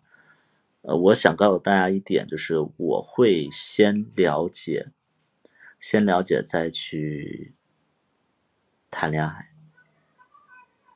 你们能懂我的点吗？就是我不会先去喜欢，就是我一切我都先以了解为目的。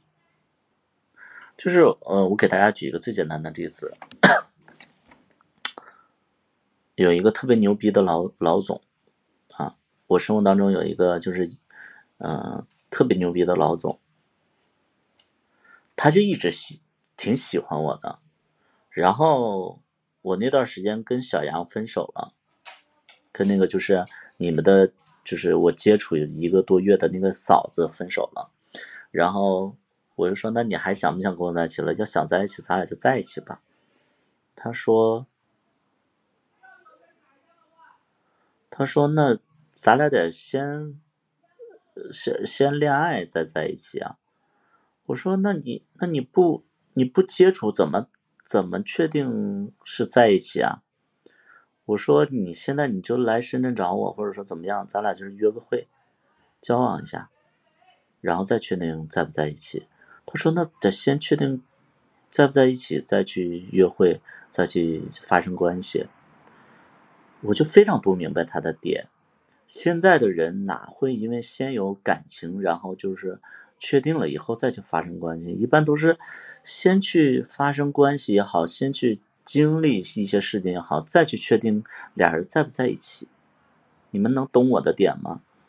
就是我习惯是先生活，先生活，然后去了解彼此的一个状态，然后再确定说在不在一起。啊，在不在一起，就是。嗯，比如说我这个人，我比较注重性，我不可能说，我不可能说，哎，你好，我喜欢你，啊，你喜欢我吗？我不会这么，我先去跟他就是现实当中去接触，比如说我约他喝酒，不小心喝醉了，他来我家了，然后不小心就发生了，发生了以后，我觉得很和谐，很和谐，我觉得没问题，没问题，我再开始追他。我绝对不会先追，追到以后然后发生关系了，他也是一，浪费我时间。你知不知道？就是就是我不会，我不会去做这种不了解彼此的事儿，然后就去先怎么着，能明白吗？就是我一定会去先去跟他接触，就是这个人适不适合。我觉得就是你们说的那种，就是。很多人啊，很多人就会觉得说，哎，我先喜欢，然后再去发生关系的这种，你就好比你们在网上先对别人有好感，然后跟他谈了一段网恋之后，然后再奔现。我跟你们不一样，我是先奔现，奔现了以后，先不用喜欢不喜欢，咱们就是正常交朋友，正常交朋友以后，然后觉得合适了，我再去说，哎，我喜欢你这件事情。你们能懂吗？你你们能懂吗？就是我是习惯，我是习惯先去了解啊，我先去了解，因为我不会浪费时间啊，不会浪费时间。就你真的是，你得先去了解啊。你比如说我。我说句非常难听的话，你们喜欢某一个主播，你们爱的不行，给人刷了一刷了一千万的礼物，结果呢，见了面以后，发现他他这个人，他那个鼻毛滋出来了，他这个人指甲盖子里全都是泥，然后发现他这个就是哎随地吐痰。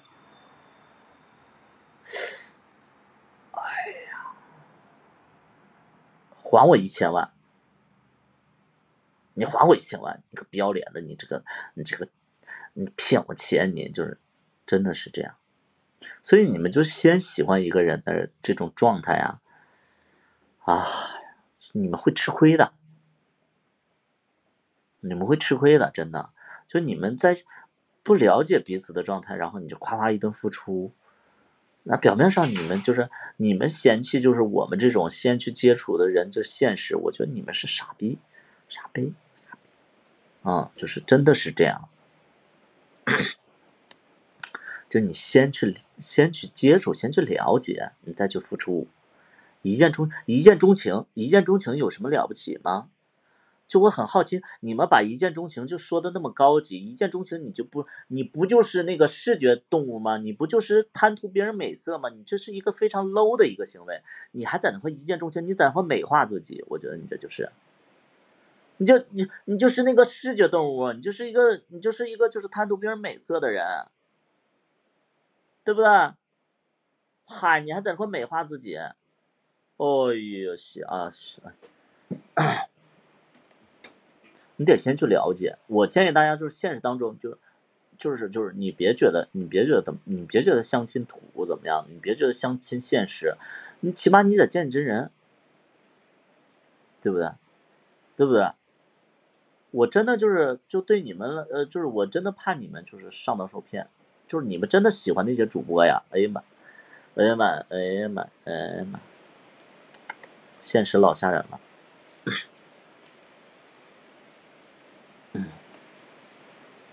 对，先喜欢容易有落差，确实是这样。啊，希望你们保护好自己啊！希望你们保护好自己。我是更希望就是先去接触了解，然后再去确定关系。嗯。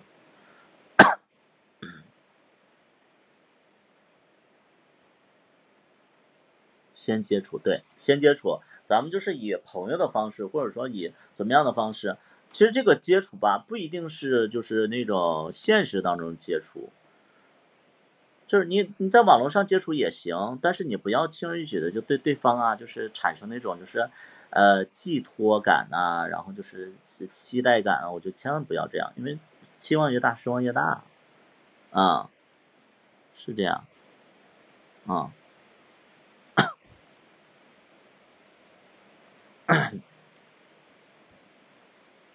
反正我是这样，我就是我，我这人可能就喜欢谁啊，我也不会就是说一开始特别喜欢谁，特别喜欢谁的话，那我就算是特别喜欢谁，我也得先，我也得先那个去接触，接触的过程当中，如果发现不合适的话，我及时撤出来，我不会那种，因为有好，我觉得你呃，就是很多的同性恋也会有这种就是。呃，不勇敢的那个劲儿，就是说觉得不合适了，我再将就将就，或者说我不合适了，但是我这个岁数也挺大了，然后我就是忍让他一下吧。我不是这种，嗯，发生关系为什么要灌醉别人？那就是一个说法，孩子。现实当中，这个一抹余香啊，我告诉你，一抹余香就是现实当中跟别人发生关系，然后一定要灌醉别人，这个几乎不可能。如果说一个零的话，你把他灌醉了的话，你去跟他发生关系，那就等于就是爆发了。咱们就是床单啊、被罩啊，咱们这个枕头上啊，都会粘连一些就是不好的东西。咱们屋里的空气啊，就是不流通了，不流通，而且你就是这个屋你都待不了。你待不了的情况下，你还怎么着？你退房的时候，人家还会找你赔钱，这就几乎是不可能。孩子们，你千万别想着说灌醉别人再跟别人发生。我告诉你，现在的零都松，就是我告诉你都会憋不住。哎，这种事儿咱们就是。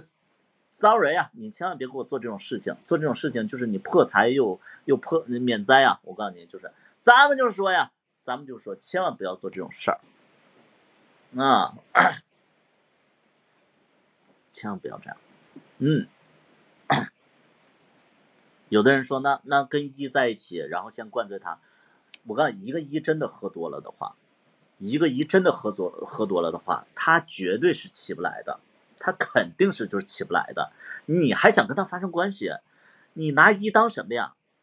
一，一他要是真喝多了的话，他一定是不举的。你们懂吗？你们懂吗？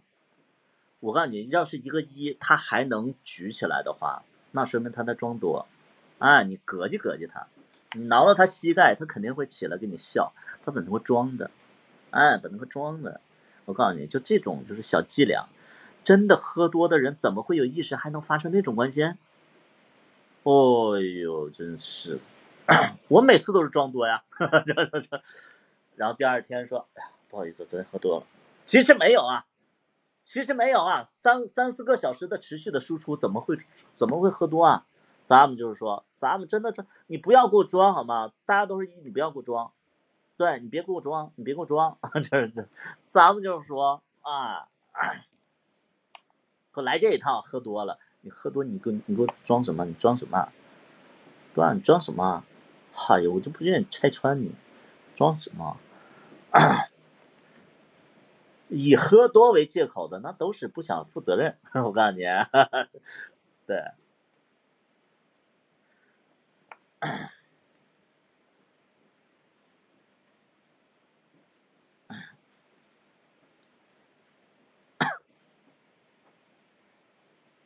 但我确实有一次经历，我确实是喝多了，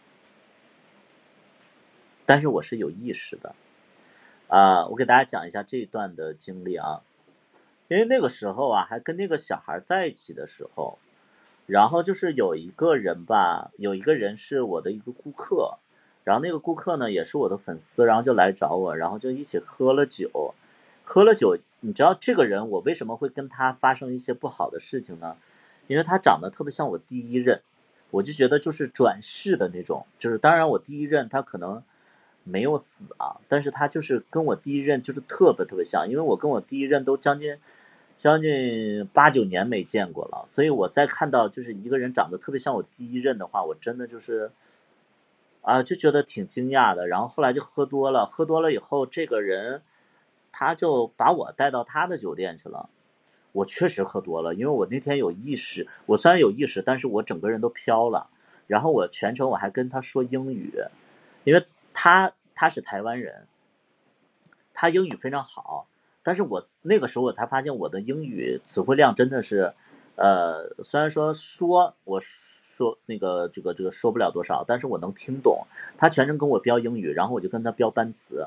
哎，你不会跟我说整句吗？我就跟你标单词。结果就去了他酒店。去了他酒店以后，呃，直接就给我跪下了，跪下了，然后就是就就用他的 mouse，然后去去去 kiss 我的 brother，然后呢，我就我就我其实那个时候已经就恍惚了，因为他的那个视角特别像欧美的那种状态，然后就是就莫名其妙的，就是就就是他就因为他是很欧美的那个很主动的那种，然后就。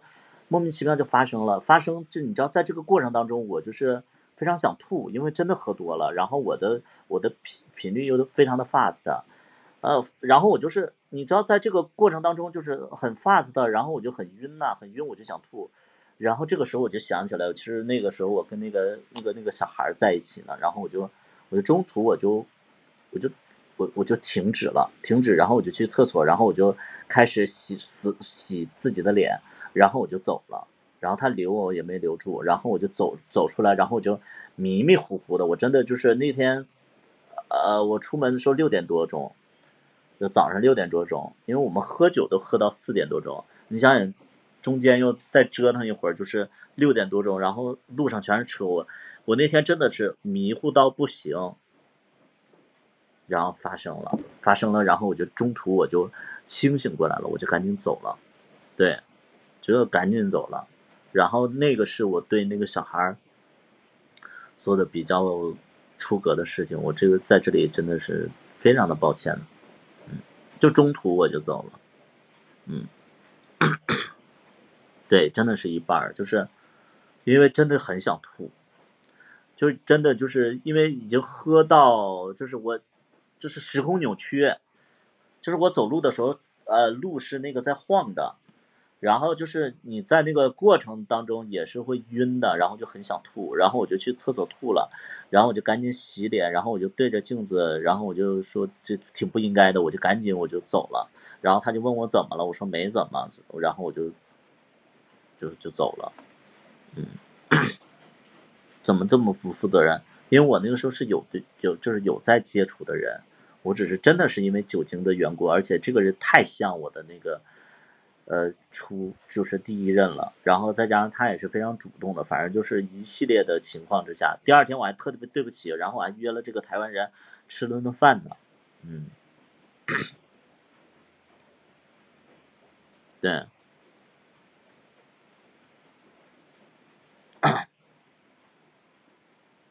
是怎么跟对象在一起？我现在没对象，嗯。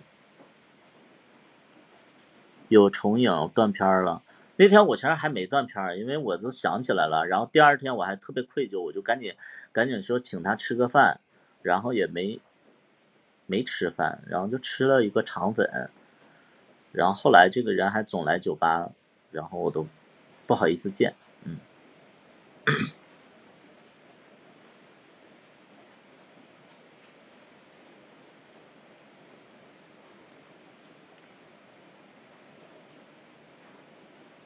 不喝醉，控制不住。我那天喝了三两瓶还是三瓶红酒，我的妈！能连麦？你想说什么呀？十九岁的我瑟瑟发抖。你再给我装，还小小乐小乐，你装什么啊？你装什么东西啊？你你装什么？你装无辜啊？你是白莲花吗？你是那个白莲花吗？你？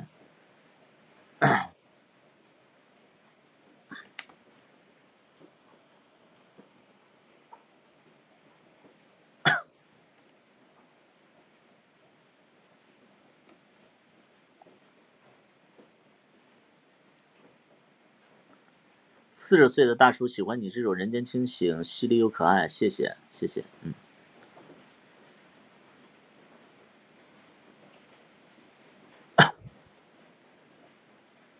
我从来不喝醉，能控制住自己。我几乎我也能控制住自己，但是呢，那天就是那天是，呃。我这样说挺渣的，但是因为我是能控制住自己的。那天是那个台湾的那个人就比较主动，然后就拉着我去了酒店，嗯，然后一进屋，咔嚓一下子就上嘴了，然后就是喝多了，然后才往这方面就是发展的。要不然以我的酒量，我是不会这样的，我也没有过这种经历。我说实在的，啊。对，我是没有这种经历的，所以就是，呃，对，其实挺，我这么说其实挺渣的，但是确实是这种情况下发生了这种事儿啊，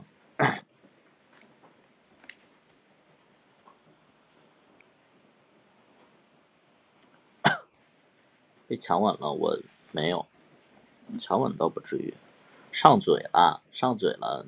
Do you understand? Are you Chinese?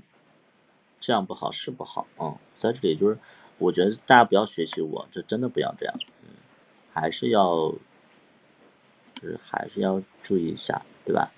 嗯，你是不是被吓懵了？我我哪会吓懵啊？我见多识广，我我遇到这种事儿我就觉得，啊，这这好性格，这个哎，这个是，我仿佛仿佛置身在 Twitter 里边。啊，这个是欧美的，这个我想想，他是 Kevin 还是 Steve？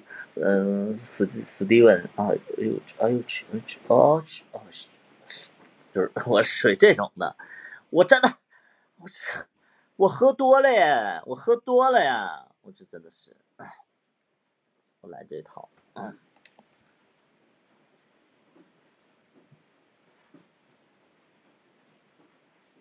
没洗呀。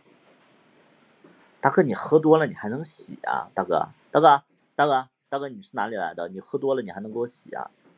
你喝多了以后，你给我洗一下试一试。啊？连麦可以，可以啊，可以。但是你要是讲的不好看，你要是讲的不好笑的话，或者说没意义的话，我就骂死你。来，你可以跟我连线，我现在连你。你要是给我讲的这个无聊的事儿，我我骂死你，好吗？你要跟我连线。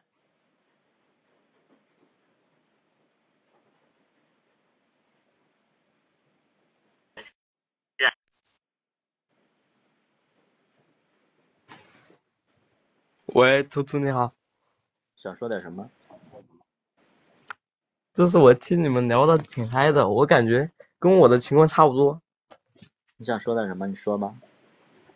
我是，呃，把别人灌醉了，然后我是零，我把别人灌醉了，我把别人带到家里面了，让我爸给撞见了，就挺尴尬的当时。你爸看见什么了？看见我把那个男的扒光了，然后一顿那个，呃，输出。然后你爸报警了吗？然后没有，我爸他挺理解的，然后他同意了，爸就是理解的。也就是说我约等约等于约等于我出柜了，就是我父母现在支持我搞同性恋了。支持你搞同性恋，你不支持你道德败坏吧你？你这属于就是你这属于干嘛呀？你干嘛呀你？你这个真的是不地道。你知不知道那一以后会有心理阴影？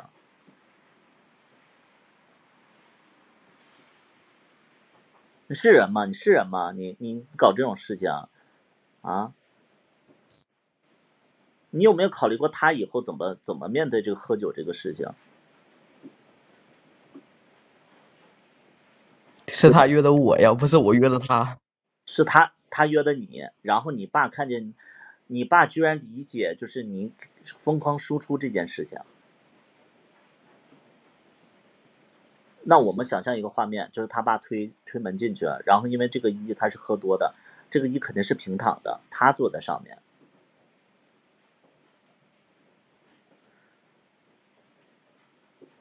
他只是看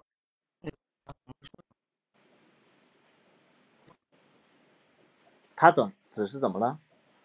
我记得，我记得当时当时就是他约我喝酒，然后还有还有两个男的，我们四个一起喝酒。四那两个喝完之后，然后他们就回家了。啊！对，那那两个不是不是同性恋，我们都不知道对方到底是不是，只是朋友关系。然后我们四个出去喝酒，那两个也喝多了，他们俩先走了，我跟他在后面还在喝。然后他喝多了，我本来想送他回家的，然后我不知道他家在哪儿，我就把他带回家了。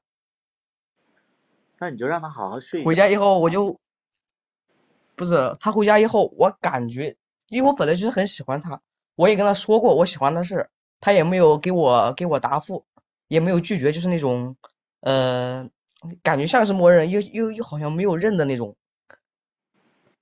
然后我就当他默认了，我就把他强行了，然后就发生了那些事儿。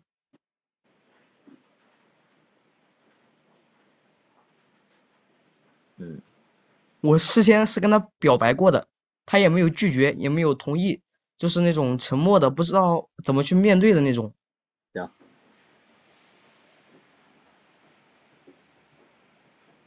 反正当时就是我爸看见了，然后呃那那天晚上晚上我爸就没回来，我就就家里面就我跟那个跟我那个朋友，就我们俩，然后我爸看见了，我就把他衣服穿上让他睡觉了，我就没管了。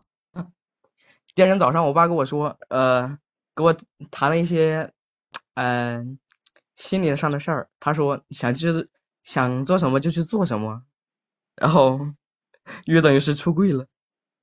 那你爸挺厉害的。我感觉我爸应该也经历过那些东西，不然他怎么可能会理解？你爸一般像那种三四十的那种很难理解同性恋这个东西，但是我爸居然理解了，这是我没有想到的。你觉得你爸也是零？我感觉吧，就是，哎，我爸对男的特别友好。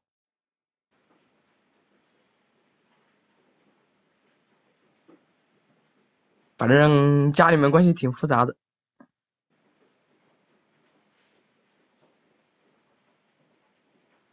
哦。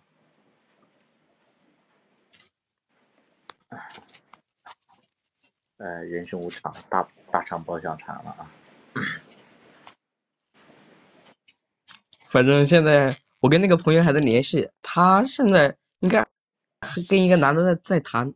我本来想跟他说一下我的心里想法的，因为我我家人已经知道我的情况了，我想着现在不用什么什么想什么家人的事儿了，我想把他追回来的。但是我知道他现在有对象了，我在等等他们两个分手，我在接盘。啊，我我没有我没有想去拆他们的意思，我只是在等。我我我有去那个联系他，跟他聊天，然后呃偶尔跟他开开玩笑什么的，但是没有那种强拆他们的意思，看他自己了。行，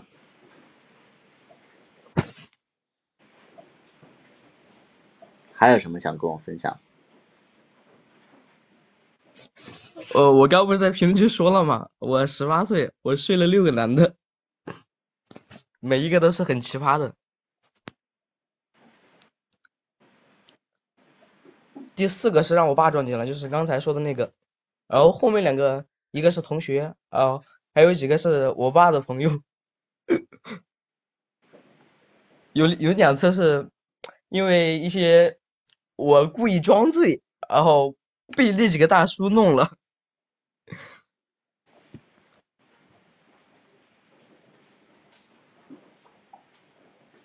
是，不不是他们，不是他们一起弄的，是分开的，就是在在不同的时间内，然后被那个啥了。还有个是，嗯，是啊，上初中的时候，然后我我跟我们班同学那会儿不是住宿嘛，然后他我们我跟他是上下铺，我在下铺，他在上铺，他每天晚上每每天晚上嗯起夜特别多，有一次他上完厕所。上去的时候，我我就把他裤子拽了一下，他好像立刻领领会了我的意思，然后钻到了我的被窝里面，摸我的胸，亲我的脸，然后我就跟他谈谈了。孩子，孩子，咱们知你知道有有一个有一个心，你知道有一颗心叫什么吗？叫心。你是怎么做？你你是怎么做到的？就是没有羞耻心这件事情，这个不是光彩的事儿，你千万别就是在这块儿哔哔哔哔哔哔哔没完没了，好吗？好，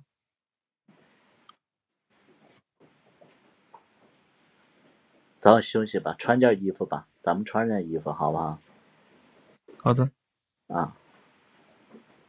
就啊，还有啊，呃，可能你对性这一块吧，就是呃不太注重，但是要保护好自己，好吗？嗯，好，保护好自己，任何时候要安全措施要做好，好吧？好的，那就这样，拜拜，拜拜。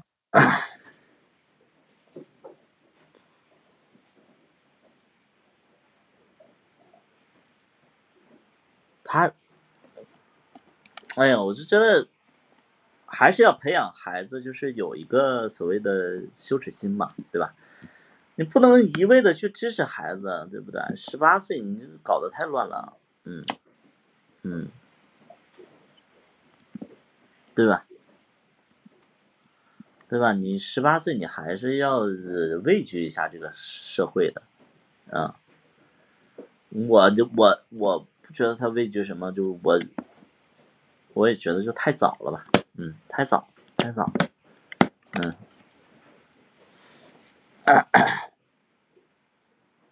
嗯，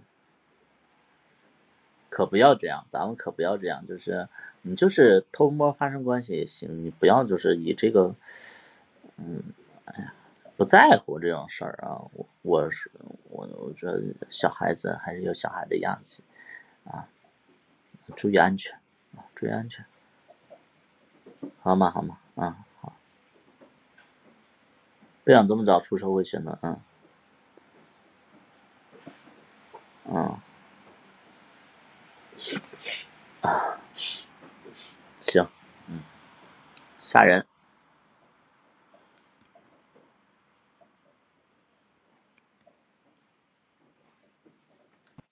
你好。Hello 啊，嗯，想跟我聊点什么？就是我刚刚听刚才的那一位嘛，对吧？嗯嗯。我是觉得哈，像我跟别人发生关系，都会正常的都是要去做个那种什么传染病，啊，你八跟别人发生。关系的时候，你会做传染病的一个检查是吗？对，那我觉得我那你那你的那个检查能代表什么呢？就是说，嗯，就是我先跟他相处，对不对？大概是最起码有这么个几个星期，然后去做个检查，做个检查，那就是确保他？就是你们检查了能代表什么？就是至少可以证明，就是说大家都比较一个安全的一个状态。我安全是状态。那如果说他的那个就是你们这个，你们知不知道有一个常识检查结果是三个月三个月之后的才会有这个效果？你能保证这个三个月之内他没有发生关系吗？啊，你们就是但但是他现在这个他是可以检查到七天的，就是七天就可以出结果了。现在嗯这个是这样吗？我记得我记得是对他现在已经两个月呃三个月吧，这个油是潜伏期的，是有潜伏期的呀。那那那个是之前的了，现在是可以查出来的了。现在可以查出来了。哦，对，七天的。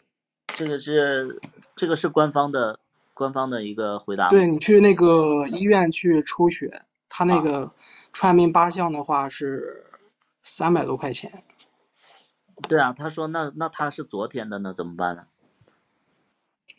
那所以所以你要跟他多多相处一会儿吧，总不能说那多相处一会儿，他这个过程当中，他就他他就是一个呃推特大佬，然后他就是平时就是就是会拍视频，那那那怎么办呢？那太恐怖了。但这种人一般是能看得出来。嗯，你能看得出来啊？那你能看出来我今天穿什么颜色的内裤吗？这肯定看不出来。就是你跟他讲话的话，其实看一些一些细节，其实能知道他这个一个人的一个性格。好，那你分析一下我，来，你先分析一下我，我看你分析的对不对啊？来，我你的了解，好吧？我觉得嗯，没事儿，我就平时就偶尔看一下直直播嘛。是啊，那你那你就简单的分析一下我，你不用就是恭维啊，你就是你你你觉得我是什么就是什么。如果说你觉得错的话，我会第一时间告诉你。就是我我就想告诉你一点，就是说有的时候直觉这个东西不准啊，你先分析一下我嘛，好吗？就是放轻松啊，你不怕你不怕就是说说错话得罪我之类的，你就评价一下我啊，你觉得我这个人怎么样？然后就是对于这个感情的态度是怎么样，然后性态度是怎么样？嗯，感觉我我我个人是就是通过这个直播嘛，嗯。我是觉得图图有的时候蛮凶的，就是有的时候还是嗯嗯、很可爱的。然后其次呢，这个人做人上面，我是觉得还是注意的东西还是蛮多的，比如就是嗯嗯，会就是怎么说呢？他可能就是嗯，会多观察一些东西。嗯他嗯不像不会说是，当然也是除了刚刚您说的那个嗯一些那种意外之之嗯资料的一些事情，像正常去交往，我感觉是那种会考虑的多一点的。嗯，还有呢？那你觉得你觉得我是一个会会跟粉丝发生关系的一个主播吗？这个这个不好说。这个不好说啊。那你觉得我发生关系的时候是那种渣男吗？是我是那种就是私底下会呃约粉丝，然后发生关系以后，然后就不想搭理对方的人吗？你觉得我是不是？嗯，感觉感觉不像，感觉不像啊。因为就是通过直播，只是通过直播，咱也没见过面，咱就是觉得还是挺稳重的一个人。是吗？不像啊。嗯，嗯，然后那？你觉得就是我谈恋爱，就是我是一个呃适合谈恋爱的人吗？你你可以信任我，就是可以跟我，就是把你的把你的身体交出来，然后跟我谈恋爱的吗？你觉得是这样的吗？这个肯定是要相处相处什么之后的事儿。我我是像有有一些他们就是，嗯，我觉得首先啊，这个做检查是一个必要的一个东西，嗯而且它其实像艾滋这个就是还是属于少数的，像像现在比较多的那种幽门螺旋杆菌这种。啊，这种就是你在接吻的时候就有可能被传上的，我觉得这什么什么杆菌？幽幽门螺旋杆菌？对，呃，这个他就是说什么？这是什么病？对呃，是有什么症状吗？会对身体，呃，是不是皮都长开了？什么什么有什么症状吗？不不不不不，这个它效果吗？最严重的，嗯，他就是平常会胃疼，啊，会胃就比较轻的，然后会有口臭，啊会口臭啊对，这个是比较轻的，重一点的话就是胃癌，我的妈呀，这个这么严重啊？对它，但是呢，就是说这个传染性还蛮强的，传染性蛮强的。就对，就口水，包括你们共进共进一起吃饭，嗯，都是容易传染上的，而且这个比较就是它途径比较多嘛，也是你们两个人之间在交往的时候非常容易得的一种，就是如果他有的话，当然哈，然后还有一些情侣他们就是说免疫力比较强一点，可能就是说有一方有有一方就是相处了很久也没有的，也是有这种的，但是大多数的人还是会被传上的。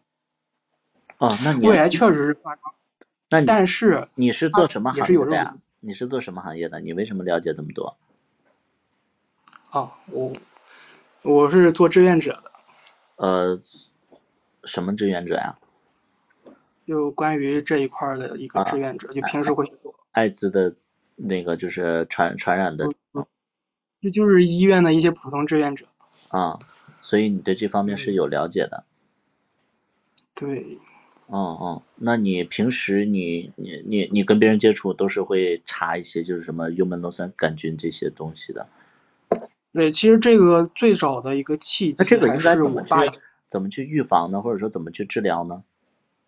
哦，就是现在大街小巷那个餐馆不都是有那个公筷嘛，那种广告，那个广告就是针对这个病的。朋友们，今天我们有请到了一个医院的志愿者，来，让我们一起去了解一下这个幽门螺旋杆菌怎么去治疗。